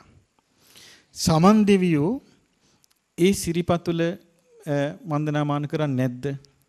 ඒ සමන් දෙවියෝ බුදුරජාණන් වහන්සේගෙන් ධර්මය ඇහුවේ නැද්ද? සෝවාන් වුණාද නැද්ද? එතකොට මිනිස්සු එක්කෙනෙක්වත් ඒක කරගත්තද ඒ කාලේ? මිනිස්සු නැහනේ. එතකොට දෙවියා වෙලා හිටපු සමන් දෙවියෝ සෝවාන් වුණා නම් ඒ දිව්‍ය ආත්මේ චෛත්‍යකුත් හැදුවා නම් ඒ දිව්‍ය ආත්මේ. එතකොට සිරිපතුලත් පිහිටෙවන මෙය බොරුද? දැන් එහෙනම් කියන හැටියට දිව්‍ය ලෝකේ දෙවි කෙනෙක් ඉපදිලා කිසි පිනක් කරගන්න බැරි නම් අබ්බගාත නම් එතකොට මේ එතකොට ඒක ඒකද හරි මේකද හරි දැන් දිවි ලෝකේ කියලා මොකොත් පින් කරගන්න බැරි නම් කෙනෙකුට වැඩක් නැත්තම් අපි දෙන පිනින් නම් යැපෙන්නේ. අපි දෙන පිනින්ද සමන් දිවි රාජය යැපෙන්නේ? අපි ගමු මේ සමන් දෙවියන්නේ අඩවියේ. අපි ගත්තොත් රත්නපුර සබරගම ওই පලාතෙම යම්තාක් මිනිස්සු ඇද්ද? ඒ සියලු දෙනාගේ බලය එකතු කළොත් සමන්දයන්ගේ බලය ඒත් අපි බයන්න පුළුවන්ද? බෑනේ. එතකොට කොහෙද මේ බලය වැඩි මිනිස්සුන්ගේද සමන් දෙවියන්ගේද? එතකොට මේ දිව්‍ය ප්‍රතිපදාවක ගිහිල්ලා නැද්ද? තියෙනවනේ. එතකොට දැන් සමන් දෙවියෝ ඉන්නේ සතර අපායේ උපදින ස්වභාවයෙන්ද සතර අපායේ මිදිලාද? සතර අපායේ මිදිලා. එතකොට බලන්න මේ දෙවියන් අතර උපදින ප්‍රතිපදාවටත් අපි ගැරහෙව්වොත් දැන් අපි හරි විදියට මේ බුදුරජාණන් වහන්සේ සරණ ගින් ධර්මයේ සරණ ගින් ශ්‍රාවක සංඝයා සරණ ගින් සීලයක පිළිපිටලා දාන ආදී පින්කම් කරමින් සිත දූෂිත කරගන්න නැතුව අපි වාසය කළොත් අපිට දෙවියන් අතර තියාගන්න බැරිද? දැන් බලන්න දෙවියන් අතර උපන්නේකී වාසිය සමන් දෙවියෝ නෙළුවද නැද්ද? ඒ පළ නෙලා ගත්තා. එතකොට මහියංගණයට බුදුරජාන් වහන්සේ වැඩි ඇයි? ඒ වෙදි යක්ෂයන්ගේ සමාගමක් තිබ්බා. ඒ යක්ෂයන් එලෝ එතනින් අයින් කරන්න නේද? යක්ෂයන් අයින් කළා ගිරිදි වෙනට ඇරියා. යක්ෂයන් පළවා හැරියා. ඒතර යක්කු අතර එකෙක්වත් හිටියද ඒ වෙලාවෙහි මේ ධර්ම අවබෝධ කරන්න පුළුවන්? නෑනේ. ඒ පුරිස ඔක්කොම අයින් කළා. දෙවියෙක් හිටියේ. ඒතකොට දිව්‍ය ලෝකේ යන කෙනෙකුට අවස්ථාවක් නැද්ද එහෙමනම් බලද්දි ධර්මයේ හැසිරෙන්න? තියෙනවනේ. ධර්මයේ දිනු කරගන්න අවස්ථාවක් තියෙනවනේ. දැන් අපි මා දිව්‍ය ලෝකේ අපි යන්න වැඩක් නැහැ. අය ඕන්නේ නැහැ කියලා අපි ඉන්නවා කියලා. ඒතර අපි බුදු කෙනෙකුගේ ධර්මයක් නෙමෙයි කියන්නේ. ඒ බුද්ධ ඥානයක් තමයි සියලු තැන්වල යන ප්‍රතිපදාව. ඒ අයුරින්ම දනි. ඒක බුද්ධ ඥානයක්. සියලු තැන්වල යන ප්‍රතිපදාව ඒ අයුරින්ම දනි. ඔන්න ඒක තුන්වෙනි ඥානෙ. පළවෙනි ඥානෙ මොකද්ද? විය හැකි නොවිය හැකි දේ ඒ අයුරින්ම දනි. දෙවෙනි එක අතීත අනාගත වර්තමාන කර්ම විපාක තැන් වශයෙන් හේතු වශයෙන් ඒ අයුරින්ම දනි. අනිත් එක සියලු තැන්වල යන ප්‍රතිපදාව ඒ අයුරින්ම දනි. සියලු තැන්වල යන ප්‍රතිපදාව. එහෙනම් බුදුරජාන් වහන්සේ දන්නවා නිරේ යන ප්‍රතිපදාව. ඒ වගේම උන්වහන්සේ දන්නවා പ്രേත ලෝකේ යන ප්‍රතිපදාව. තිරිසන් ලෝකේ යන ප්‍රතිපදාව. ඊළඟට ඔව් දිව්‍ය ලෝකේ යන ප්‍රතිපදාව. බ්‍රහ්ම ලෝකේ යන ප්‍රතිපදාව. මනුස්ස ලෝකේ යන ප්‍රතිපදාව. ඒ ඊළඟට උන්වහන්සේ දන්නවා සෝවාන් වෙන ප්‍රතිපදාව. සකදාගාමී වෙන ප්‍රතිපදාව. අනාගාමී වෙන ප්‍රතිපදාව. නිකලෙස් වෙන රහත් වෙන ප්‍රතිපදාව දන්නවා. මේ ලෝකේ වෙන කවුරුවත්ම මෙහෙම දන්නේ නැහැ. ඒතර උන්වහන්සේගේ දේශනාවල මෙහෙම තියෙනවා. උන්වහන්සේගේ දේශනාවල් කියවද්දී මේ දේශනාවල මොනවද තියෙන්නේ? දස බල ඥාන. එතකොට ඒ ආශ්‍රයෙන් ඔබට හිත පහදා ගන්න පුළුවන්. ආ එහෙනම් මේ බුදුරජාන් වහන්සේ මේ ඥාණයෙන් තමයි මේ ධර්මයේ දේශනා කරලා තියෙන්නේ. එතකොට මේ ඥාණය ණයට ගත්ත එකක් නෙමෙයි. දැන් සාමාන්‍යයෙන් අපේ ඥාණය මොකද්ද? තව කෙනෙකුගේ දැනුමකට පාදක වෙච්ච එකක් තමයි. තව කෙනෙකුගෙන් ඉස්කෝලේ ගියත් තව කෙනෙකුගෙන් ඉගෙන ගන්න. ඊළඟට වෙන ශිල්පයක් හදාරන්න ගියත් ගුරුවරයෙකුගෙන් ඉගෙන ගන්නේ. ගමනක් යන්න ගියත් එහෙම ඇදුමක් පහන්න ගියත් ගුරු ඉගෙන ගන්නවා. මොන හරි උයන්න ගියත් අපි කාගෙන් හරි අහ ගන්නවා. ගහක් කොලක් හිටවන්න ගියත් අපි කාගෙන් හරි අහ ගන්නවා. ඉතින් අපේ දැනුම හැමතිස්සෙම තියෙන තවත් කෙනෙකුගේ දැනුමක් උපකාර කරගෙන. අපේ දැනුම ස්වයම්භූ නෙමෙයි. ස්වයම්භූ කියන්නේ තමන් තුලින්ම ඇති කරගන්න අවබෝධයට. දැන් බුදුරජාණන් වහන්සේ තුල ඇතිවෙච්ච මේ ඥාන තමන් තුලින්ම ඇති වෙච්ච එකක්. තමන් තුලින්ම ඇති කරගන්නා වූ ඥාන. ඒතර මේ ඥාණයෙන් තමයි උන්වහන්සේ මේවා දේශනා කරන්නේ. ඒතර උන්වහන්සේ ඒ ඒ තැන්වල යන ප්‍රතිපදාව දන්නවා. ඒ නිසා උන්වහන්සේ දැන් ඔබ හිතන හැටියට බුද්ධ දේශනාවක් දැන් සෑහෙන දන්න නිසා බුදුරජාන් වහන්සේගේ අපේක්ෂාව තිබුණේ මොකද්ද? මේ සත්වයාට ඉක්මනට චතුරාර්ය සත්‍ය අවබෝධ කරලා දෙන්නයි. එතකොට ඒ සඳහා මේ උන්වහන්සේ බලනවා. ඒක ඒකත් උන්වහන්සේගේ ඥානය. මේක අපිට ඉස්සරහට ඒක හම්බ වෙනවා. ඉතින් මේ අපේක්ෂාවට තමයි උන්වහන්සේ මේ ධර්ම මාර්ගේ කියලා දුන්නේ. එක එක දැන් උන් අපි මනුස්ස ලෝකෙට ඇවිල්ලා ඉන්නවා. දැන් මොකක් හරි එකකට මනුස්ස ලෝකෙට අපි ආවා. හැබැයි දැන් මනුස්ස ලෝකේ අපි තීරණාත්මක සම්දිස්ථානයක් මේ. මේකෙදි සමහර විට වැරදුනොත් වැරදුනාම තමයි. ඒක බැරි වෙලාවත් අපි ඊළඟ ආත්ම තිරසං අපායකට ගියොත් ඊට පස්සේ ඉතින් ආයේ කතාවක් නැහැ මොනවා වෙයිද? කොයි ආකාරයට ඉවර වෙයිද? කියලා කියන්න බෑ. අර මම දැක්ක එක පොතක මේ ඒකේ තිබුණා. ඒක ධර්ම ප්‍රදීපිකාව. ඒ පොත අර ගුරුලුගෝමි පඬිවරයාගේ පොතේ මම ඒකේ දැක්කා. මේ මල්ලිකා බිසෝ ගැන ඒක තිබුණේ. පෙර ආත්මික ගොඩාක් ඉස්සර මේ ගෙදරට ඇවිල්ලා ඥාතියෙක්. ඥාතියට සංග්‍රහ කරන්න ගෙදර හිටපු එළුව මරලා ඒ එළුවගේ මවිල් ගානේ බෙලි කැපුම් කෑවා කියලා එතකොට බලන්න මිනිස්සු මේ බැරි වෙලාවත් කෙනෙක් මේ මේ තිරිසන් අපායක උපන්නොත් එතකොට තිරිසන් අපායක උපන්නාට පස්සේ පින් කරන්න අවස්ථාවක් යාට සැලසෙනවද? එතකොට යාට කැරකි කැරකි විපාක දෙන්නේ මොනවද? අකුසල්මයි. අපි බැරි වෙලාවත් මේ යන රටාවේ පෙරේත ලෝකයක උපන්නොත් එතකොට යාට කැරකි කැරකි උපද විපාක දෙන්නේ මොනවද? පෙරේත ලෝකෙමයි. දැන් බොහෝ විට දැන් සාමාන්‍යයට ඔබට හිතෙන්න පුළුවනි පෙරේත ලෝකේ උපන්න කෙනාට දැන් අපි පින් දෙනවනේ.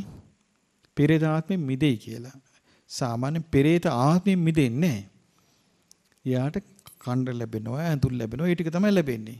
අර එක සිදුවීමක් තියෙනවා මේ සාරිපුත්ත මහරහතන් වහන්සේගේ ආත්ම පහ ආත්ම පහකට කලින් අම්මා ඒ අම්මා වෙලා ඉපදිලා පෙරේති. ඒ කියන්නේ ආත්ම භාව පහකට කලින් සාරියුත් මහරහතන් වහන්සේ ඒ කාන්තාවගේ මව කුසේ තමයි ඉඳලා තියෙන්නේ. ඉතින් සාරියුත් මහරහතන් වහන්සේ පින් කරගෙන ගිහිල්ලා rahat වෙලා පුතා. අම්මා පෙරේත ලෝකේ. ඒ ආත්ම භාව පහකට කලින්. දැන් කොමාරි මේ පෙරේතිට මේ මුණ ගැහුණා. මුණ ගැලා අඳුනගත්තා මේ මගේ පුතා වෙලා හිටපු කෙනා කියලා. ඊට පස්සේ ඒ සාරිපුත්ත මහරහතන් වහන්සේට කියනවා අනේ මං ඔබ වහන්සේගේ අම්මා දැන් මට ඒ උපන්න දවස් ඉඳලා මට ඇඳුනුත් නැහැ කණ්ඩත් නැහැ කිව්වා. එතකොට සාරිපුත්ත මහරහතන් වහන්සේ පින්ඩ පාති වැඩලා දානි අරගෙන සංඝයාට පූජා කරනවා. සෝහනට ගිහිල්ලා වස්ත්‍ර හොයාගෙන ඇවිල්ලා පඳු ගහලා සිවුරක් හදලා සංඝයාට පූජා කරනවා දෙනවා. ඊට පස්සේ දිවි වස්ත්‍රාභරණේ සැරසිච්ච දෙවඟනක් වගේ රූපේ තියාගෙන තිබිච්ච කෙනෙක් ඇවිල්ලා ස්වාමිනී මං අර හිටපු පෙරේති මං ඒ පින් අනුමෝදන් වුණා. මට දැන් කෑම ලැබුණා, ඇඳුම් ලැබුණා. නමුත් මට තව සුළු කාලයක් තියෙන කිව්වා. ඊට පස්සේ කොහෙද යන්නේ කියලා ඇහුවා. නිරේ කිව්වා. දැන් සාරිපුත්ත මහරහතන් වහන්සේට බේරන්න බෑනේ. බේරන්න බෑ. දැන් පින් ගන්න යාට පුළුවන්කම තිබුණා. නමුත් කර්ම විපාක යන රටාව බේරන්න බෑ. මනුස්ස ලෝකෙදී නම් බේරන්න පුළුවන් වුණා. දැන් සාරිපුත්ත මහරහතන් වහන්සේ එක්තරා අවස්ථාවක එක්කෙනෙකු ගිය වගේ බේරුවනේ. යාළුවෙක් හිටියානේ. මාගන්ති වගේ නමක් තියෙන. දන දනංජානි. දනංජානි බ්‍රාහ්මණයා ඒ තරුණ කාලේ කිව්වා මේ සාරිපුත්ත මහරහතන් වහන්සේ කිව්වා පින්වත යාළුවා යාගේ. සාරිපුත්ත මහරහතන් වහන්සේගේ යාළුවා. කිව්වා මේ ධර්මයේ පොඩ්ඩක් ඒ පැත්තට නැඹුරු වෙලා ඔය බණ දහම් ආදී පුරුදු කරොත් හොඳයි නේද කියලා ඇහුවා. අනේ මට මේ කාලේ ඌවා කරන්න බෑ මං ඉතින් ඔය පුළුවන් හැටියට ජීවත් වෙනවා කිව්වා. දැන් මෙයා මරණසන්න වුණා. මරණසන්න වුණාට පස්සේ දැන් මෙයා ඉක්මනට පණවිඩයක් ඇරියා සාරිපුත්ත මහරහතන් වහන්සේට වඩින්න කියලා උන්වහන්සේ වැඩියා. වැඩියන් පස්සේ කිව්වා මේ දැන් කොහොමද? අනේ මට ගිනි දැල් පේනවා කිව්වා. අද කොච්චර ගිනි දැල් පේනවද මිනිස්සුන්ට අපි දන්නේ නැහනේ. ඒ කියා ගන්නත් බෑනේ. අනේ මට ගිනි දැල් පේනවා කිව්වා. ඊට පස්සේ කිව්වා ඔය පේන්නේ නිරේ කිව්වා. ඔය නිරේට වඩා හොඳයි කිව්වා තිරිසන් අපාය. කියනවා එතකොට අර ගිනිදෙස් පෙනිලා නැතුව ගියා. ආ දැන් අන්ධකාරයි කිව්වා. ආ ඊට වඩා හොඳයි කිව්වා පෙරේත ලෝකේ. ඊට පස්සේ මෙයාගේ පෙරේත ලෝකෙට හිත ආවා. ඊට පස්සේ මනුස්ස ලෝකෙට, දිව්‍ය ලෝකෙට, ඔහොම බ්‍රහ්ම ලෝකෙටම හිත ගෙනිච්චනේ. බලන්න මනුස්ස ලෝකේ ඒ එතකොට බ්‍රහ්ම ලෝකෙට හිත ගෙනිලා බ්‍රහ්ම ලෝකෙ පිහිටවගෙන හිටිය හිත ඊට පස්සේ ඒ ධනංජානි බ්‍රාහ්මණය මැරිලා බඹල උපන්න. සාරිපුත්ත මහරහතන් වහන්සේ විහෙරට වැඩියාම බුදුරජාණන් වහන්සේ මොකක්ද ඇහුවේ? සාරිපුත්ත ඇයි ධනංජානි එතනින් නැවැත්තුවේ කියලා. ඇයි සාරිපුත්ත මහරහතන් වහන්සේට නෑ අර ඥානෙ සියලු තැන් වලට යන ප්‍රතිපදාව. ඒ ආකාරයෙන්ම දන්නේ කවුද? බුදුරජාණන් වහන්සේ විතරයි. ඒ බුදුරජාණන් වහන්සේ එතන වැඩ හිටියනම් චතුරාර්ය සත්‍ය දකින්න. එතකොට බලන්නේ ශාස්ත්‍රුන් වහන්සේගේ ස්වභාවය අපි හොඳට තේරුම් ගන්න ඕනේ මේකෙන්. එතකොට බුදුරජාන් වහන්සේගේ ඥාන තුනක් කිව්වා. ඒවා මතක තියාගන්න. සාමාන්‍යයෙන් අපිට ඒක මතක තියාගත්තොත් හරි ප්‍රයෝජනයි. ඊළඟ ඥානෙ තමයි අනේක ධාතු නානා ධාතු ලෝකං යථා භූතං පජානාති. මේ නානා ධාතු ස්වභාවයෙන් යුතු ලෝකය ඒ ආකාරයෙන්ම දකිනවා. එතන මේ ලෝකේ එකම ස්වභාවයෙන් යුක්ත නැහැ. නානා ධාතු ස්වභාවයෙන් යුක්තයි. එතකොට මේ මේ ලෝකයට මොකද්ද සාමාන්‍යයෙන් අපි කියන්නේ නානත්ත්‍ය කාය නානත් සංඤී. ඒ කිව්වේ ශරීර වලිනුත් වෙනස්. අදහස් වලිනුත් වෙනස් ලෝකයක් තමයි මේ තියෙන්නේ. එතකොට මේ ලෝකේ තිරිසන් ලෝකේ ඒ പ്രേත ලෝක ආදී. තව ලෝක තියෙනවා ඒකත්ත කාය ඒකත්ත සංජී. ශරීර වලුනුත් එක වගේ. අදහස් වලුනුත් එක වගේ. තව ලෝක තියෙනවා ඒකත්ත කාය නානත්ත සංජී. ශරීර වලින් එකයි. අදහස් වලින් වෙනස්. සමහර ඒවා තියෙනවා ඔව් ඒ නානත්ත කාය ඒකත්ත සංජී. ශරීර වලින් වෙනස් අදහස් වලින් එකක්. ඉතින් මේ ඔක්කොම මේ ලෝක ස්වභාවයේ ඒ වගේ ස්වභාවයන් ගැන නානා ධාතු ස්වභාවයෙන් යුතු ලෝකේ උන්වහන්සේ දන්නවා. දැන් මේ උන්වහන්සේ දකින්න දන්න ලෝකය අපිට ගෝචරද? අපිට ගෝචර නෑ. ඒ හේතුව ඒ ඥානෙ නෑනේ ලෝකේ කාටවත් දෙන අයට. උන්වහන්සේගේ තිබිච්ච ඒ ඥාන ශ්‍රාවකයෙකුට නෑ. તો නානා ධාතු අනේක ධාතු නානා ධාතු ලෝකේ නොඑක් ධාතු ස්වභාවයෙන් යුක්ත බව. උන්වහන්සේ දකින මේ හොඳ එක්කිනාට හොඳ එක්කිනා එකතු වෙනවා. නරක එක්කිනාට නරක එක්කිනා එකතු වෙනවා. මේ වගේ ස්වභාවයෙන් යුක්තයි. ඒකට උන්වහන්සේ මොකද්ද පාවිච්චි කළේ? ධාතු ස්වභාවය කිව්වා. ධාතු ස්වභාවය කිව්වා. දැන් ඔන්න මෙහි හිටපු ගමන් ওই දඹදිව වන්දනාවේ ගම් වලින් යනවා මිනිස්සු. දම් වන්දනාවේ ගිහිල්ලා ඔය සමහර ඉන්නවා මේ ගම් වල එක එක ඔය අර ගොඩේ බීම වර්ග බොණ්ඩ පුරුදු වෙච්ච. හින්දිත් බෑ. ඉංගිරීසිත් බෑ. මේ ගිහිල්ලා ඉන්දියාවේ ගිහිල්ලා වැඩි වෙලාක් නෑ මේ මිනිස්සුන් නෑ. ටිකක් වෙන හොඳට බීලා එනවා. හොයාගන්න තැන් තියෙන තැන්. ඒ කියන්නේ ඒ කියන්නේ මොක ඒ මොකද්ද? ධාතු ස්වභාවය. ඒ නරක වැඩ කරන කෙනෙක් පොඩි රහුමක් යනවා මේ ටවුමේ. ටිකකට යාට ගානට එක්කිනෙ කප් වෙලා. එහෙම නැද්ද? ඒ මොකද්ද? ධාතු ස්වභාවය. හොඳ එක්කිනාට හොඳ එක්කෙනෙක් අහු වෙනවා. නරක එක්කිනාට නරක එක්කෙනෙක් අහු වෙනවා. මේ වගේ බුදුරජාන් වහන්සේ කලේ පැවිදි වුණෙත් මේ ධාතු ස්වභාවයට අනුවයි. දවසක් බුදුරජාන් වහන්සේ භික්ෂූන්ට වදාලා සාරිපුත්ත මහරහතන් වහන්සේයි සංඝ පිරිසකුයි සක්මන් කරනවා. ආම් බලන්න කිව්වා මහණෙනි. සාරිපුත්තයන් එක්ක මේ සක්මන් කරනවා. මේ සියලු දෙනා ප්‍රඥා සම්පන්නයි කිව්වා. මුගලන් මහරහතන් වහන්සේත් එක්ක සංඝ පිරිසක් සක්මන් කරනවා. අර බලන්න කිව්වා. ඒ සියලු දෙනා 이르දිමන්තයි කිව්වා. අනුරුද්ධ මහරහතන් වහන්සේත් එක්ක තව පිරිසක් සක්මන් කරනවා. මේ බලන්න කිව්වා අර පිරිස. ඒ සියලු දෙනා දිවස්ලාභින් කිව්වා. ආනන්ද ස්වාමින් වහන්සේත් එක්ක තව පිරිසක් සක්මන් කරනවා. මේ පිරිස ඔක්කොම ධර්මයේ දරාගෙන ඉන්නවා කිව්ව පාඩම් කරගෙන. දේවදත්තත් එක්කත් පිරිසක් සක්මන් කරනවා. අර බලන්න කිව්වා ඔක්කොම පාපී භික්ෂුන් කිව්වා. දැන් බලන්න එතකොට පාපී භික්ෂුවට හිත ඇදලා ගියේ පාපී පුද්ගලයා ළඟටයි. එතකොට ප්‍රඥාවන්ත කෙනාගේ හිත ඇදලා ගියේ ප්‍රඥාවන්ත කෙනා ළඟටයි. දිවස් ලැබෙන එක්කෙනාගේ හිත ඇදිලා ගියේ දිවස් ලැබෙන එක්කෙනා ළඟටයි. මේ ධාතු ස්වභාවය අනුව තමයි අපි මේ රැකී ආරක්ෂාවල් කරන්නේ. ගොඩක් අය රැකී ආරක්ෂාවල් කරන්නේ ධාතු ස්වභාවය අනුව. ඒ කවුරුත් දන්නේ නැහැ ඉතින් ඒක කොහොමද මේ ධාතු ස්වභාවය හිතන් ඉන්නේ හිතාගෙන ඉන්නේ වෙනින් එකක් ඊට පස්සේ වෙන්නේ වෙනින් එකක් කරන්නේ ඉගෙන ගන්න වෙන විශයක් කරන්නේ වෙන රසාවක්. එහෙම වෙන්නේ නැද්ද? එහෙම වෙනවා. මේ ධාතු ස්වභාවයෙන් තමයි වෙන්නේ. මට හම්බුණා ජපානි ළමෙක් ඉන්දියාවේදී ඒ ළමයාට ඉගෙන ගත්ත ඉගෙන ගත්ත එක රස්සාවකත් හරියන්නේ නැහැ. මෙයා දවසක් පන්සලට ගිහින් බුදුරජාණන් වහන්සේට වැඳ වැඳ ඉල්ල අනේ මට රස්සාවක් කරන්න මට මාර්ගයක් කියලා දෙන්න කියලා.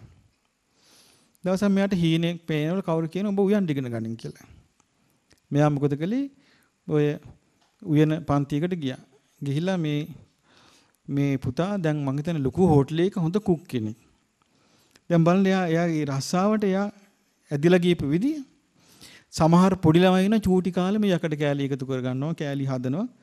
ටික කාලයකට ගෑරේජ් බාස් කෙනෙක්. එහෙම වෙනවා. තව සමහර ඉන්නවා පොඩි කාලේ ඉඳලා ඇඳුම් මහන පුරුදු වෙන පොඩි ලොකු වෙන ටේලර් ෂොප් එකක් දාගෙන. සමහර පොඩි කාලේදී මුකුත් නැහැ. ලොකු වෙනට බාබර් කෙනෙක්. වෙන්නේ නැද්ද මෙව්වා? ඒ හැම එකටම අපේ ක්‍රියාවල් වලට මේ ධාතු ස්වභාවයේ බලපානවා. මේ ධාතු ස්වභාවය කොච්චර බලපානවද කියන්නේ බුද්ධ කාලේ බුදුරජාන් වහන්සේ කාලේ සාරිපුත්ත මහරහතන් වහන්සේ ළඟට එක පොඩි නමක් පැවිදි වුණා සාරිපුත්ත මහරහතන් වහන්සේ ළඟ. දැන් සාරිපුත්ත මහරහතන් වහන්සේ ඒ කාලේ ඉතින් පැවිදි වෙන හැමෝටම දෙන්නේ අසුබ භාවනාවනේ ඉස්සල්ලාම. ඉතින් කෙස්ලොම් නියදත් සම්මාස් අර මල්ල දිගහැරලා බලනවා වගේ මල්ල ලෙහෙලා බලනවා වගේ බලන්න කියලා සතිපට්ඨානෙ තියෙන විදියට උගන් දැන් මේ ස්වාමීනාංශي භාවනා කරනවා කරනවා ඒක මොහොතක් ඒ අරමුණ හිතට ගන්න බෑ. දැන් සාරිපුත්ත මහරහතන් වහන්සේ එක එක ක්‍රමයකට කියලා දෙනවා. ඒත් බෑ. තුන් මාසයක් මුළුල්ලේ වෙහෙසෙනවා ප්‍රතිඵල නැහැ. ඊට පස්සේ බුදුරජාණන් වහන්සේ ළඟට එක්කන් යනවා. බුදුරජාණන් වහන්සේ මොකද කියලා ආයෙන්න කියලා රත්තරම් පාට මලක් මවලා දෙනවා. මේ මල දිහා බලාගෙන ලෝහිතකම් ලෝහිතකම් කියලා මෙනෙහි කරන්න කියනවා. මෙනෙහි කරනකොට මොහොතින් හිත එකඟ වුණා. බුදුරජාණන් වහන්සේ ධර්මයේ කිව්වා රහත් ඵලයටපත් වුණා. බුදුරජාණන් වහන්සේ වදාළ සාරිපුත්ත මහරහතන් වහන්සේට සාරිපුත්ත අවුරුදු 500ක් ආත්ම භාව 500ක් රත්තරන් වැඩ කරපු එක්කෙනෙක් කිව්වා මේ. බලන ධාතු ස්වභාවයේ නානාදා අනේක ධාතු නානා ධාතු ස්වභාවිත ලෝකේ බුදුරජාණන් වහන්සේ තමයි දැක්කේ. එතකොට ඒ උන්වහන්සේගේ ඥාණය එතකොට බලන්න උන්වහන්සේගේ මේ දසබල ඥාන උන්වහන්සේගේ මේ උතුම් ධම්සක් පැවතුම් දේශනාවට ඍජුවම බලපාපු දේ නේද එකම දේ. ඒකෙන් තමයි ශ්‍රාවකයෝ ඒ කාලේ ශ්‍රාවක පිරිස් නිවන් අවබෝධ කළේ. ඉතින් හරි ලස්සනයි මේ සිද්ධි බලද්දී. ඊළඟ දැන් තුන ඥාන හතරක් කිව්වා අපි. මොනවද ඒ? විය හැකි නොවිය හැකි දේ ඔව් ඒ ආයුරින්ම දන්නා ඥානෙ. අතීත අනාගත වර්තමාන ඔව් කර්ම විපාක හේතු වශයෙන් තැන් වශයෙන් ඒ ආයුරින්ම දන්නා ඥානෙ. සියලු තැන් වලට යන ප්‍රතිපදාව ඒ ආයුරින්ම දන්නා ඥානෙ. අනේක ධාතු නානා ධාතු ලෝකය ඒ අයරින්ම දන්නා ඥානෙ. ඊළඟ එක තමයි සත්වයන්ගේ නානාදි මුත්තිකතං යථා භූතං පජානාති. සත්වයන්ගේ නානා රුචි අරුචකං ඒ ආකාරයටම දන්නා උන්වහන්සේ. උන්වහන්සේ ඒවෙන් තමයි මේ ලෝකෙට ධර්මයේ ප්‍රචාරය කළේ. සත්වයන්ගේ නානාදි මුත්තික බව. එක එක ගතිගුණ මේ සත්වයන් තුළ බැසගෙන තියෙනවා. ඒ ගතිගුණවල දිහා බලලා තමයි උන්වහන්සේ ධර්මයේ ධර්මයේ දේශනා කරන්නේ. ඒක දිහා බලලා. එහෙම දේශනා කරපු සූත්‍ර තමයි අපි මේ කියවන්නේ. එහෙම දේශනා කළේ ඒ ගතිගුණ දිහා බලලා ඒ සත්වයන්ගේ නානාදි මුත්තිකතං සත්වයන්ගේ නානා අදිමුත්තික ඒක අදිමුත්තික ස්වභාවය කියන එක වචනේ මතක තියාගන්න. ඒ කියන්නේ එක එක රුචි අරුචිකං මේ සත්වයන්ට ගතිගුණ පිහිටලා තියෙනවා. ඒ පිළිట్లా තියෙන විදිහට තමයි යන්නේ. ගොඩාක් දුරට ඒක හැදෙන්නේ සත්වයන්ගේ කර්මයට අනුව. ඇයි දැන් බුද්ධ කාලේ එක්කෙනෙක් හිටියට මතකද මේ අර රජගහනුවර ගලක් උඩ තපස් කළේ අර තනි කකුලෙන් හිටගෙන හුලම් බිබි ජම්බුක අවුරුදු 50ක් වේලිච්ච අසුචි කාලා හිටියන්නේ. මිනිස්සෙක්. අපිට මේක හිතන්න පුළුවන් ඒක කතන්දරයක් කියලා රහතන් වහන්සේ නමක් බවට විස්තර නැත්තම්. ඒ ආත්මේ රහත් වුණා. බලන්න මේ පොඩි කොළුව ඉපදින්නේ මං හිතන්නේ පසේ බුදුරජාණන් වහන්සේ නමකට ඒ අපහාස කළා. උපද ඉපදිච්ච දවසේ ඉඳලා මේ එකම ප්‍රිය ආහාර එකක්ක තමයි. වෙන කිසි දෙයක් කන්න බෑ කක්කමයි හොයන්නේ. ඒතර බලන්න දැන් මිනිස්සු බත් ගෙනත් දෙනවා. ඉතින් මිනිස්සු දන්නේ නැහැ මොකද්ද කියලා. රසයට බත් හදාගෙන කියනවා. ඉතින් එයා කියනවා මේ උඹලාට ඉතින් පින් සිද්ධ වෙන්නත් එපාය. ওই තනකුල ගහක් කඩන් වරින් කියන. ඒ තනකොළ ගහක් කඩාගෙන එනවා. එතකොට අර බත් එකේ ගානවා. ගාලා දෙනවා. දැන් මෙයා දිවේ පොඩ්ඩක් ගාලා හා දැන් ඇති. උඹලාට ඕක පින ඇති හොඳටම කියනවා. දැන් ඉතින් ඊට පස්සේ කට අර ගන්නවා. අහනවා ඇයි කියලා. නෑ මම්මි හුලන් තමයි කියන ආහාරයට ගන්නෙ. තනි කකුලෙන් ඉන්නේ ඇයි කියලා අහනවා. කකුල් දෙකකින් ඉන්න බෑ මේ මහ පොළොවට බෑ කියනවා මගේ ගුණධර්ම. ඔව් රොත්තු දෙන්නේ නෑ කියන මහ පොළොවට. එච්චර මේ ගුණධර්ම බරයි. එතකොට ඒ ජම්බුකා ජීව දැන් තනි කකුලෙන් ඉන්නවා. රෑට මොකද කරන්නේ? කකුල් දෙකම තියෙනවා. කට වහ ගන්නවා. හිමීට ගලෙන් පල්ලෙහාට බහිනවා. බහැලා යනවා මිනිස්සුන්ගේ අසුචි ගෙනල්ලා දාන තැනට. ගිහිලා මොකද කරන්නේ? බඩ පිරෙන්න කනවා. දවසක්ද සතියක්ද? මාසයක්ද? අවුරුදු 50ක් පුදුම කර්මයක් නේද ගෙවලා තියෙන්නේ? අවුරුදු 50ක් බුදුරජාණන් වහන්සේ දැක්ක මේ මෙයාගේ මේ ඉරණම. දැකලා උන්වහන්සේ වැඩියා. අන්න බලන්න සත්වයන්ගේ නානාදි මුත්‍තික කත බව. එයා කොහොමද මේ කර්මයේ රැස්කලේ කොවිදිහට මෙයාට විපාක දෙන්නේ? දැන් මේ විපාක දීලා ඉවරයි. දැන් මෙයාට බේරෙන්න මොකද්ද කියන මොකද්ද කරන්න ඕනේ දේශනාව? මේ ඔක්කොම උන්වහන්සේ දන්නවා උන්වහන්සේ වැඩියා. වැඩිලා උන්වහන්සේ කරුණු කියලා දැන් උන්වහන්සේ රෑ නැවතින්න අවසර ගත්තා. ගල උඩ දැන් උන්වහන්සේ ඉන්නවා. දැන් අරයා ගණන් ගන්නෑ බුදුරජාණන් වහන්සේ. දැන් ඉන්නවා පැත්ත කරවිලා. එයා තනි කකුලේ හිටිනේ කට අරගෙන ඉන්නවා. දැන් රෑ වෙනකොට උන්වහන්සේ දැන් බුදුරජාණන් වහන්සේ දන්නවා දැන් මෙයා මේ වෙලාවට කට වහනවා මේ වලට කකුල තියෙනවා මේ යනවා කියලා. එතකොට උන්වහන්සේ ළඟට ගිහිල්ලා දැන් මොකද මේ කරන්න හදන්නේ? පාර ගිහිල්ලා අසුචි කන්නේද හදන්නේ කියලා ඇහුවා. අන්න මෙයාගේ අර සලුපිලි ඔක්කොම වහගෙන හිටපු ඔක්කොම ඉවරයි ඉරිලා ගියා. ඊට පස්සේ ධර්මයේ දේශනා කළා පැහැදුනා රහත් ඵලයටපත් වුණා. එතකොට බලන්න මේ රහත් වෙන්න ඉන්න මිනිස්යාට දැන් සාමාන්‍යයෙන් දැන් අපි රහත් ඵලයේ බුදු කෙනෙකුගෙන් රහත් බව ලබන්න නිකන් නෙමෙයි එහි භික්ෂු රහත් බව ලැබුවේ. රහත් බව ලබන්න පින තියෙන එක්කෙනාට කර්මයේ ගහපු ගැහිල්ල. කර්ම විපාකේ ගහපු ගැහිල්ල. එහෙම බලද්දී අපිට තියෙන බරපතලම අර්බුදේ අපට තමන්ගේම සිතකය වචනේ තමන්ගේම සිතක වචනේ නුහුරට යෑම. මේක තමයි බරපතලම අර්බුදේ. අපිට පේන්නේ බරපතලම අර්බුදේ හැටියට බාහිර එකක් නේද? අසවලා මට ගැහුවේය. අසෝලා මට බැන්නේය. අසෝලා මගේ දියුණුව නැසුවේය. අසෝලා මට නිඳා කළේ. අසෝලා මගේ කීර්තිය නැති කළේ. අසෝලා මට අර දේ නොදුන්නේය. අපි හැමතිස්සෙම දකින්නේ පාඩුව කළේ කවුරු කියලාද? බාහිර කෙනෙක් කියලා. නමුත් මේ දේශනාව දිහා බැලුවම පේනවා පාඩුව කරගන්නේ තමාමයි.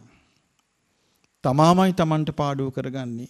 තමාමයි Tamanට හානිය කරගන්නේ. තමන්මයි Tamanට අවාසිය කරගන්නේ. එතකොට බුදුරජාණන් වහන්සේට මේ සත්‍යයන්ගේ නානාදි මුත්තික බව දන්න නිසා උන්වහන්සේ මේ සත්‍යාව එකකින් ලස්සන්ට බේරුණ දැන් බලන්න මේ පින්වන්තයන්ගේ ස්වභාවය බුද්ධ කාලේ යසකුල පුත්‍රයා ගැන බලමු. දැන් බුදුරජාන් වහන්සේ දැන් ගයාවේ බෝධිය ළඟ බුදු වුණා. බුදු වෙලා ඊට පස්සේ උන්වහන්සේ වැඩියා බරණැසට. බරණැස ඉසිපතනේ දැන් ඉන්නවා පස්වග භික්ෂුන් වහන්සේලා ඉන්නවා. දැන් පස්වග භික්ෂුන් වහන්සේලා ඊයේ රහත් වුණා කියමු. ඔන්න ඊ රහත් ඵලයටපත් වුණා. ඔන්න අද රෑ අද රෑ යසකොළ පුත්‍රයාට උන් රෑ ජාමේ ඇහැරෙනවා. ඇහැරුණාම පේනවා මොකද්ද පේන්නේ? නිලියන්ගේ විප්‍රකාර. ඒ යසකොළ පුත්‍රයාටත් මාලිගා තුනක් තියෙනවා. නින්ද යනකන් නාටිකාංගනාව නටනවා සින්දු කියනවා. දැන් යාට ඇහැරෙනකොට මේ ඔක්කොම නාටිකාංගනාවගේ විප්‍රකාර දැක්කා. දැකපු ගමන් එපා වුණා. උපද්දුතං වතබෝ උපස්සට්ටං වතබෝ එහෙම කියවුණා. මේක මහා වැඩන්නේ මේ ජීවිතේ මොන වදයක්ද මොන කරදරයක්ද කියලා. හිතලා හිතුවා මං එවලම යන්න ඕනේ. පුදුම සහගත සිද්ධිය බලන්න එතකොට එවලම යන්න ඕනේ කියලා සෙරප්පු දෙක දාගත්තා. දාගෙන ගේට්ටුව ගාවට ආවා. එනකට ගේට්ටුව ඇරි මිනිස්සු නෙවෙයි. අමනුෂ්‍ය ගේට්ටුවේ හරි ලස්සන තියෙනවා මේ මහවග්ග පාළි පොතේ. මේ යසකුල පුත්‍රයාට උතුම් පැවිදි බවට බාධා නොවේවා. දැන් යසකුල පුත්‍රයා දන්නේ පැවිදි වෙන්න යන්නේ කියලා. අමනුෂ්‍යෝ යසකුල පුත්‍රයාගේ උතුම් පැවිදි බවට බාධා නොවේවා කියලා ගේට්ටු අරිනවා. දැන් මේ සිද්ධි වෙන රෑ 3ට විතර 3ට 4ට වගේ වෙන්නේ. එන්න දැන් යසකුල පුත්‍රයා යනවා. දැන් පාරේ හිටිච්ච පාරේ යනවා. ගිහිල්ලා ඔන්න මේ නගරේ දොරත් අරිනවා.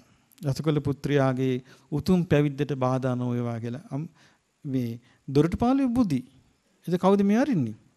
අමනුෂ්‍යය. අරගෙන යනකොට ඔන්න බුදුරජාණන් වහන්සේ ගහක් යට වැඩ ඉන්නවා. උන්වහන්සේ පේන්නේ නැහැ මෙයාට. මෙයාට ආයෙ කිවේනවා අර කායිත්. උපද්දුතං වත බොහෝ උපස්සට්ටං වත බොහෝ කියලා. මට බවද්දි මේ ජීවිතේ හරි කරදරයන්නේ. හරි පීඩාවයින කියලා. ඒක බුදුරජාන් වහන්සේ කියනවා යස මං ගත කරන ජීවිතයේ කිසි කරදරයක් නැහැ. කිසි පීඩාවක් නැහැ කියනවා. ඒකට යසකුල පුත්‍රය එතෙන්ට එනවා. උන ධර්මයේ කියනවා. අන්න බුදුරජාණන් වහන්සේලාගේ ධර්මයේ අර මොකක්ද මේ දේශනාවට කියන්නේ?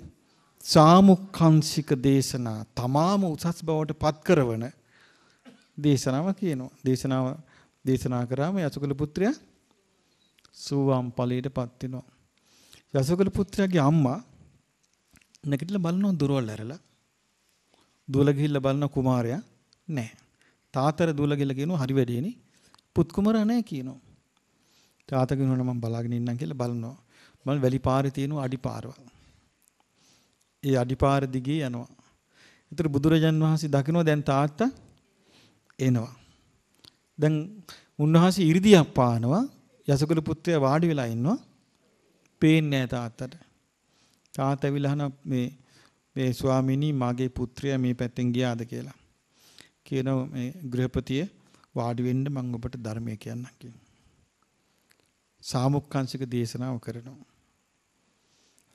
එතකොට අර සාමුක්කාංශික දේශනාව කියන්නේ චතුරාර්ය සත්‍ය. සෝවාන් ඵලයට පත් වෙන තාත්තා. පත් වෙනකොටම යසකුල පුත්‍රයා රහත් ඵලයටපත් වෙනවා. නමුත් රහත් වුණාට තාම ගිහි. බුදුරජාන් වහන්සේ ඉරිදි ආතාරිනවා. පුතා ළඟ තාතර පේනවා. තාත්තා කියන පුතේ අම්මට කරදරයක් වී අම්මා දැන් ඔන්න කම්පා වෙලා ඉන්නවා. ඉක්මනට ගෙදර යන් කියනවා.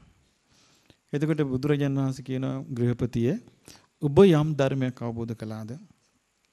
ඒ ධර්මයේ පරිපූර්ණව අවබෝධ කළා උපාදාන රහිතව හිත මුදවාගෙන නිකලෙස්ලා මේ ඉන්නේ කියන පුතා. මේ පුතාට දැන් තියෙන පැවිදි විතරයි කියනවා. තාත්තා කියනවා ස්වාමීනි මාගේ පුත්‍රයාට මේ පැවිදි එසේම වේවා. එහෙනම් ස්වාමීනි හෙට දවසේ දානෙට මේ පුතා සමග ගෙදර වඩින්න කියනවා. ඔන්න එහි භික්ෂු පැවිද්ද ලැබෙනවා යසකුල පුත්‍රයාට. බලන්න මේ ජීවිතේ කොහොමද කියලා. ඊට පස්සේ බුදුරජාණන් වහන්සේ යසකුල පුත්‍රයයි ඒ ගෙදරට වඩිනවා. යසරහතන් වහන්සේ. වඩින්න දැන් තාත්තා සුවන් වෙලා. දැන් යස කුමාරයාගේ ගිහි කාලේ යස කුමාරයාගේ බිරිඳයි අම්මයි. දානි හදලා දැන් දානි පූජා කරනවා.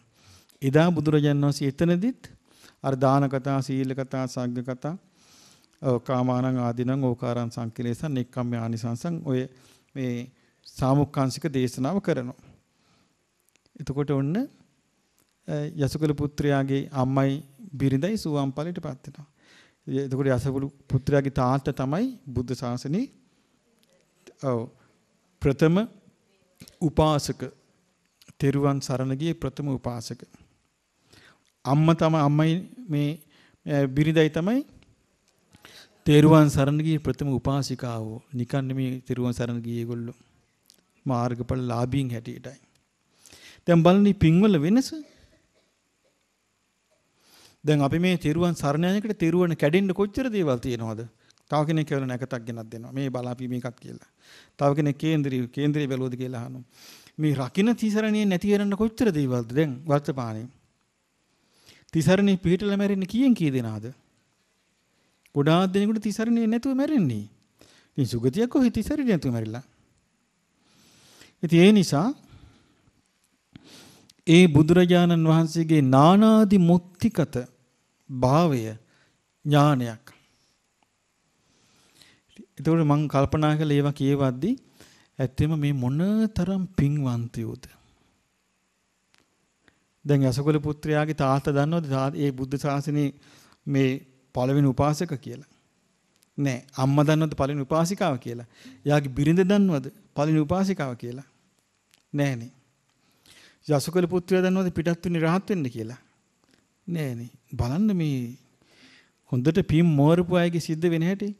ඔන්න ඊට පහෝදා ආරංචින යසකුල පුත්‍රයා ගැන ආරංචි වෙලා එනවා සිටු පවුල් වල සිටු කුමාරවරු හතර දෙනෙක්.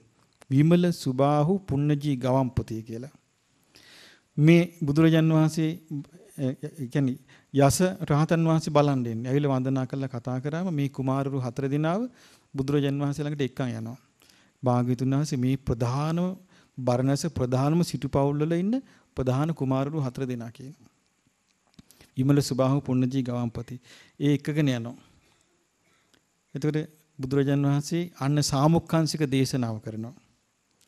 රහතන් වහන්සේලා හතර නමක්. ඊට පහෝදාරංචි වෙලා අනිත් අය එනවා 50 දෙනෙක් එනවා හොඳ කොල්ලෝ. 50 දෙනෙක් එනවා. යසකොල යස රහතන් වහන්සේ බලන්න. ආයි බුදුරජාන් වහන්සේ ගාවට එක්කගෙන ස්වාමිනී මගේ යාළුවෝ මේ කියනවා. 50 දෙනා. ආයි චතුරාර්ය සත්‍ය දේශනා කරනවා. සාමුක්කාංශික දේශනාව. ඒ සියලු දෙනාම නිකලස් වෙනවා. බලන්න මේ යුගයේ අද මොනවද තියෙන අපිට තිසරණ රැක ගන්න කොච්චර අමාරුද? ආන අද ඉන්න තත්ත්වයේ ඒ තත්ත්වයේ අතර වෙනස දැන් තේරුම් ගන්න. මේ තිසරණ රැක ගන්න කොච්චර අමාරුද? සීල්පද පහක් රැක ගන්න කොච්චර අමාරුද? හිත රැකගෙන දාන පිටිකක් පූජා කරගන්න කොච්චර අමාරුද? එතකොට මේ සිතේ ශ්‍රද්ධාවට හානි වෙන දේවල් නෙමෙයි හැමතැනම සිද්ධ වෙන්නේ වර්තමානයේ. ඒ ඒ ඒ විදිහට බලද්දී අපිට කොච්චර දුෂ්කරද මේ කුසල් දහම් මේ යෙදීම. අපි බොරු කතා කරලා වැඩක් නැහැ. ඒ ඒ ඒ බුදු බුදුරජාන් වහන්සේ කාලේ සුන්දර ලෝකේ නෑ. සුළු කාලෙන් බලන්න පට පට පට ගාලේ ධර්ම බෝධේ වෙච්ච හැටි. ඒ කාලේ ඉතින් අපි කොහේ කොහේ හිටියද මොනවා වෙලා හිටියද මේ සංසාරේ කියන්නේ කොනක් පුටක් පේන තැනක් නෙමෙයි. කාලයකට කල්ප ගානක් මුහුදෙන් ගොඩට යන්නේ කල්ප ගානක් මෙරි මෙරි මුහුදෙමයි. ආයි කාලයකට වැසිකිලි වලින් ගොඩ යන්නේ කල්ප ගානක්. ආයි තිරිසං ආත්මෙන් ගොඩ යන්නේ කල්ප ගානක්. ආයි പ്രേත ලෝකෙන් ගොඩ යන්නේ. එහෙම ක්‍රවුම් ගහන්නේ මනුස්ස ලෝකෙට මේ එන්නේ අපි. එහෙම ඇවිල්ලා තමයි දැන් අපි මේ මත් වෙලා ඉන්නේ මේ දන්න පේන ටිකට. ඉතින් මේ ඇත්ත ස්වභාවය අර බුදුරජාණන් වහන්සේ දේශනා කරපු නිසා අපි දැන් මේක ඉගෙනගෙන තියෙනවා. ඉතින් ඒ නිසා මේ උන්වහන්සේගේ නානාදි මුත්තිකත සත්වයන්ගේ නානාදි ඒ ඒ සත්වයන් ඒ සසර පුරුදු කරපු රටාව හොඳට පේනවා බුදුරජාණන් වහන්සේට කෙනෙක් දකින්නකට. දකින්නකට පේනවා. දැන් ඉතින් අපිට මේ අවස්ථාවල් නැහැ දැන්. එතකොට මේ පේනතික් මානික ඉබඳු අවස්ථාවක් නැහැ. එතකොට අපිට දැන් එහෙමනම් ආඩම්බර වෙන්න මොකුත් තියෙනවද? නැහැ. හිතට ගන්න මොකුත් නැහැ. හරි විදියට තේරුම් ගත්තොත් අපි හැමෝම එක එක්කෙනා ඊටාම අසරණයි. ඊටාමත්ම අසරණයි. ඒතර මේ අසරණ භාවයට තියෙන පිළිසරණ තමයි බුදුරජාණන් වහන්සේව සරණ යන්න ලැබීම. ඉතින් ඒ සරණ ගියපු බුදුරජාණන් වහන්සේගේ ඥාන තමයි දැන් ඔය අපි ඉගෙන ගනිමින් සිටියේ. පළවෙනි ඥානයේට අපි කිව්වේ විය හැකි තැන් ඔව් නොවිය හැකි තැන් ගැන ඒ ආකාරයෙන්ම උන්වහන්සේ දන්නවා. අතීත අනාගත වර්තමාන කර්ම විපාක හේතු වශයෙන් තැන් වශයෙන් ඵල දෙන ආකාරය උන්වහන්සේ ඒ විදිහටම දන්නවා. සියලු තැන්වල උපදින ප්‍රතිපදාව සියලු තැන්වලට යන ප්‍රතිපදාව උන්වහන්සේ ඒ විදිහටම දන්නවා.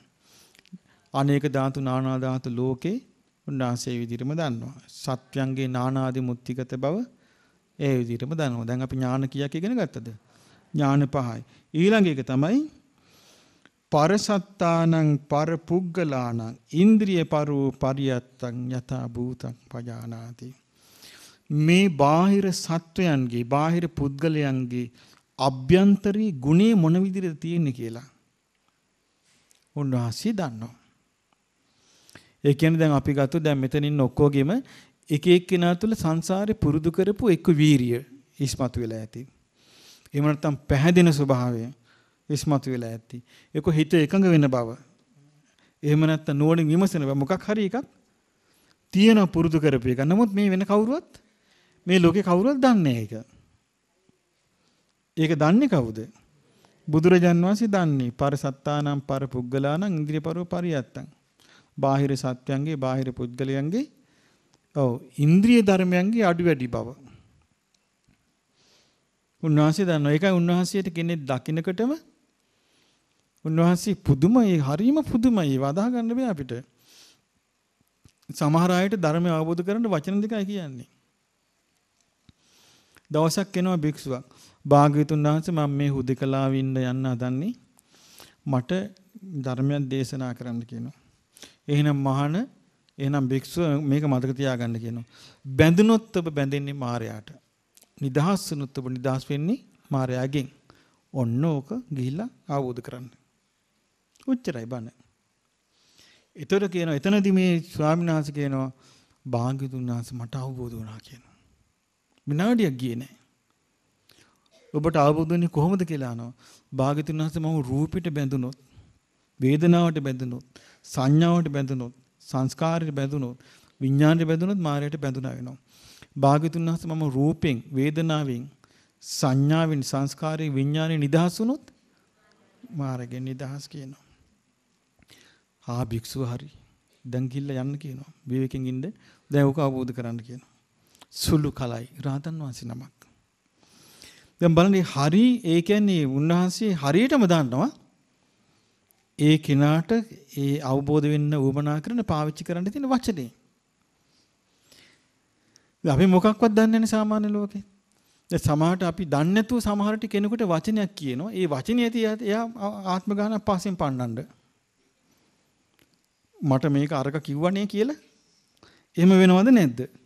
සමහරට අපි කියන්නේ මෙයාට කේන්ති යන හොඳටම ගැටෙන වචනයක් අපි කියනවා. එතකොට එයාගේ ඒක එයාගේ තියෙන අර ඇතුලේ ඇන්ජිමට ඒක හොඳට සෙට් වුණා. එතකොට මොකද වෙන්නේ? ඕ ගාලා ද්වේෂේ. එහෙම වචනෙට වෙන්නේ නැද්ද? සමහර අය හොඳට එන මේ යන්තම් වචනයක් එහෙන් මෙහෙන් යාන්තම් ගෑවෙන්න බෑ. ප්‍රශ්න බවට පත් වෙන අවස්ථා නැද්ද? තියෙනවනේ. ආන් බලන්නේ අර සංසාරයේ එක්කෙනා පුරුදු කරපු රටාවේ. ඒ රටාවට යන්නේ. එහෙම ගිහිල්ලා දැන් මේ ජීවිතේ ගොඩාක් අය ඒ කර්මයට බැඳිලා තමයි අපි වාසය කරන්නේ. අපි දන්නේ නෙමේ. කර්මයට බැඳිලා කර්මයේ විපාක විඳ විඳ වාසය කර. කර්මානුරූපව කසාද බඳිනවා. කර්මානුරූපව ළමයි හම්බ වෙනවා. කර්මානුරූපව රස්සාවල් කරනවා. කර්මානුරූපව ගෝලු ඇවිල්ලා මහාන වෙනවා. කර්මානුරූපව ස්ථාන හදනවා. මේ හැම දෙයකටම බලපාලා තියෙන මොකද්ද? කර්මය. කර්මානුරූප බව බලපාලා. දැන් බුදුරජාණන් වහන්සේට ඒක බලපෑවේ නැද්ද? ඒ උන්වහන්සේ සම්බුද්ධත්වයට පත් වෙලා බරණස ඒ 61 නම ධර්ම ප්‍රචාරයට පිටත් කළා. ඊට පස්සේ උරුවෙල් දනවෝට වැඩලා උරුවෙල් දනවියෙන් ජටිල দমনය කළ දහස් නමත් එක්ක ගයාශීර්ෂයට ගිහිල්ලා ගයාශීර්ෂිතේ පිරිස ඔක්කොම රහතන් වහන්සේලා බවට පත් වෙලා ඒ පිරිසත් එක්ක වේලුවනේට වඩිනවා. රජගහ නුවරට. රජානක වැඩියෙන් පස්සේ මෙන්න එනවා කවුද ඉන්නේ? උපතිස්ස, කෝලිත, 250 පිරිසම ගේනවා. කවුද එන්නේ? අග්‍ර ශ්‍රාවකයන් වහන්සේලා. ඒතර බලන්න කර්මානුරූප බලපෑමක් නැද්ද? තියෙනවානේ. ඒවෙන් මිදෙන්න බෑ ලෝක සත්වයාට. ඒ ගානට ඔක්කොම සිද්ධ වෙනවා. ඒ දැන් රජගහනුවර ඉන්නකොට මෙන්න මේ මේ සවැත් නුවර හිටපු සිටුතුමා මෙන්න රජගහනුවරේ බිස්නස් වලට මුණ ගැහිනවා. ඒතර මෙණ්ඩක නුවර හිටිය ඒ මෙණ්ඩක සිටු පුත්‍රයාගේ මේ දුව විසාකා එතකොට බුදුරජාන් වහන්සේ කාලේ පුංචි අවුරුදු 7 දී රහත් වෙනවනේ. සමාවෙන්න සුවන් වෙනවනේ. එතකොට බලන්න මේ ඔක්කොම ගානට වෙන හැටි ඒ ඒ කාලෙට ගානට ඉපදිලා. ඒ පින්වන්ත අය පින්වන්ත විදියට ඒ තැන්වල උපන්න. හැබැයි අපිත් මේ ඉපදිලා තියෙන විදිය ගත්තොත් එහෙම මේ කාල පරිච්ඡේදයේදී මේ පෘථුවියේ සමස්ත පෘථුවිය අපි ගමු නිකන් පෘථුවිය කියලා ලෝකගෝලේ ඕකේ එක එක රටවල ජීවත් වෙන මිනිස්සුත් එක්ක අපිත් මනුස්සාත්මය ලැබුණා කියලා හිතන්න. ඒතර අපිට ලැබිච්ච දේවල් අතර අග්‍ර මොකද්ද? ධර්මේ නේද? මේ ධර්මයේ හම්බුනේ නැත්තම් සාමාන්‍ය මිනිස්සු වගේ අපිත් කාලා සාම් පොඩි ගයක් හදාගෙන පාරේ තියෙන දේවල් සාප්පු තියෙන දේවල් බල බල හූල්ල හූල්ල කන්න බැරි වෙච්ච කෑම ගැන හූල්ල හූල්ල අදින්න බැරි වෙච්ච ඇඳුම් ගැන හූල්ල හූල්ල යන්න බැරි වෙච්ච වාහන ගැන හූල්ල හූල්ල හදන්න බැරි වෙච්ච ගෙවල් ගැන හූල්ල හූල්ල ඉගෙන ගන්න බැරි වෙච්ච විෂයන් ගැන හුල්ල හුල්ල බලන්න බැරි වෙච්ච නාට්‍ය ගැන හුල්ල හුල්ල අපිට ඉන්න වෙන්නේ. අද අපිට ඒවෙන් බැහැර වෙලා ඉන්න පුළුවන් කමක් නැද්ද? ඒවා ඒවා කෙරේ අපිට නිකන් මධ්‍යස්ථ බලන්න බැරිද අද? ඒ මොකද හේතුව? ඊට වඩා ශ්‍රේෂ්ඨ දෙයක් අපිට කියවන්න පුළුවන් වෙච්ච නිසා. ධර්මයේ ලැබිච්ච නිසා. නැත්තම් තියෙන බාහිර දේ දිහා බලාගෙන හූල්ලනවා ලබා ගන්න දේ බැරි වෙච්ච දේවල් හිතෙන් මවාගෙන තෘප්තියක් විඳිනවා. ඕකනේ මේ මනසේ තියෙන්නේ. ඉතින් මේ මායාවට අහුවෙච්ච අපි මේක මායාවක් කියලා තේරුම් ගන්න උදව් වුනේ නැද්ද මේ ධර්මය? මේ ධර්මයේ තමයි උදව් වෙන්නේ. ඒ නිසා අද දවසේ අපි ඉගෙන ගත්ත ඥාන හයක්.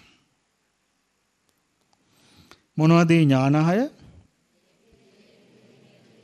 ඔව්.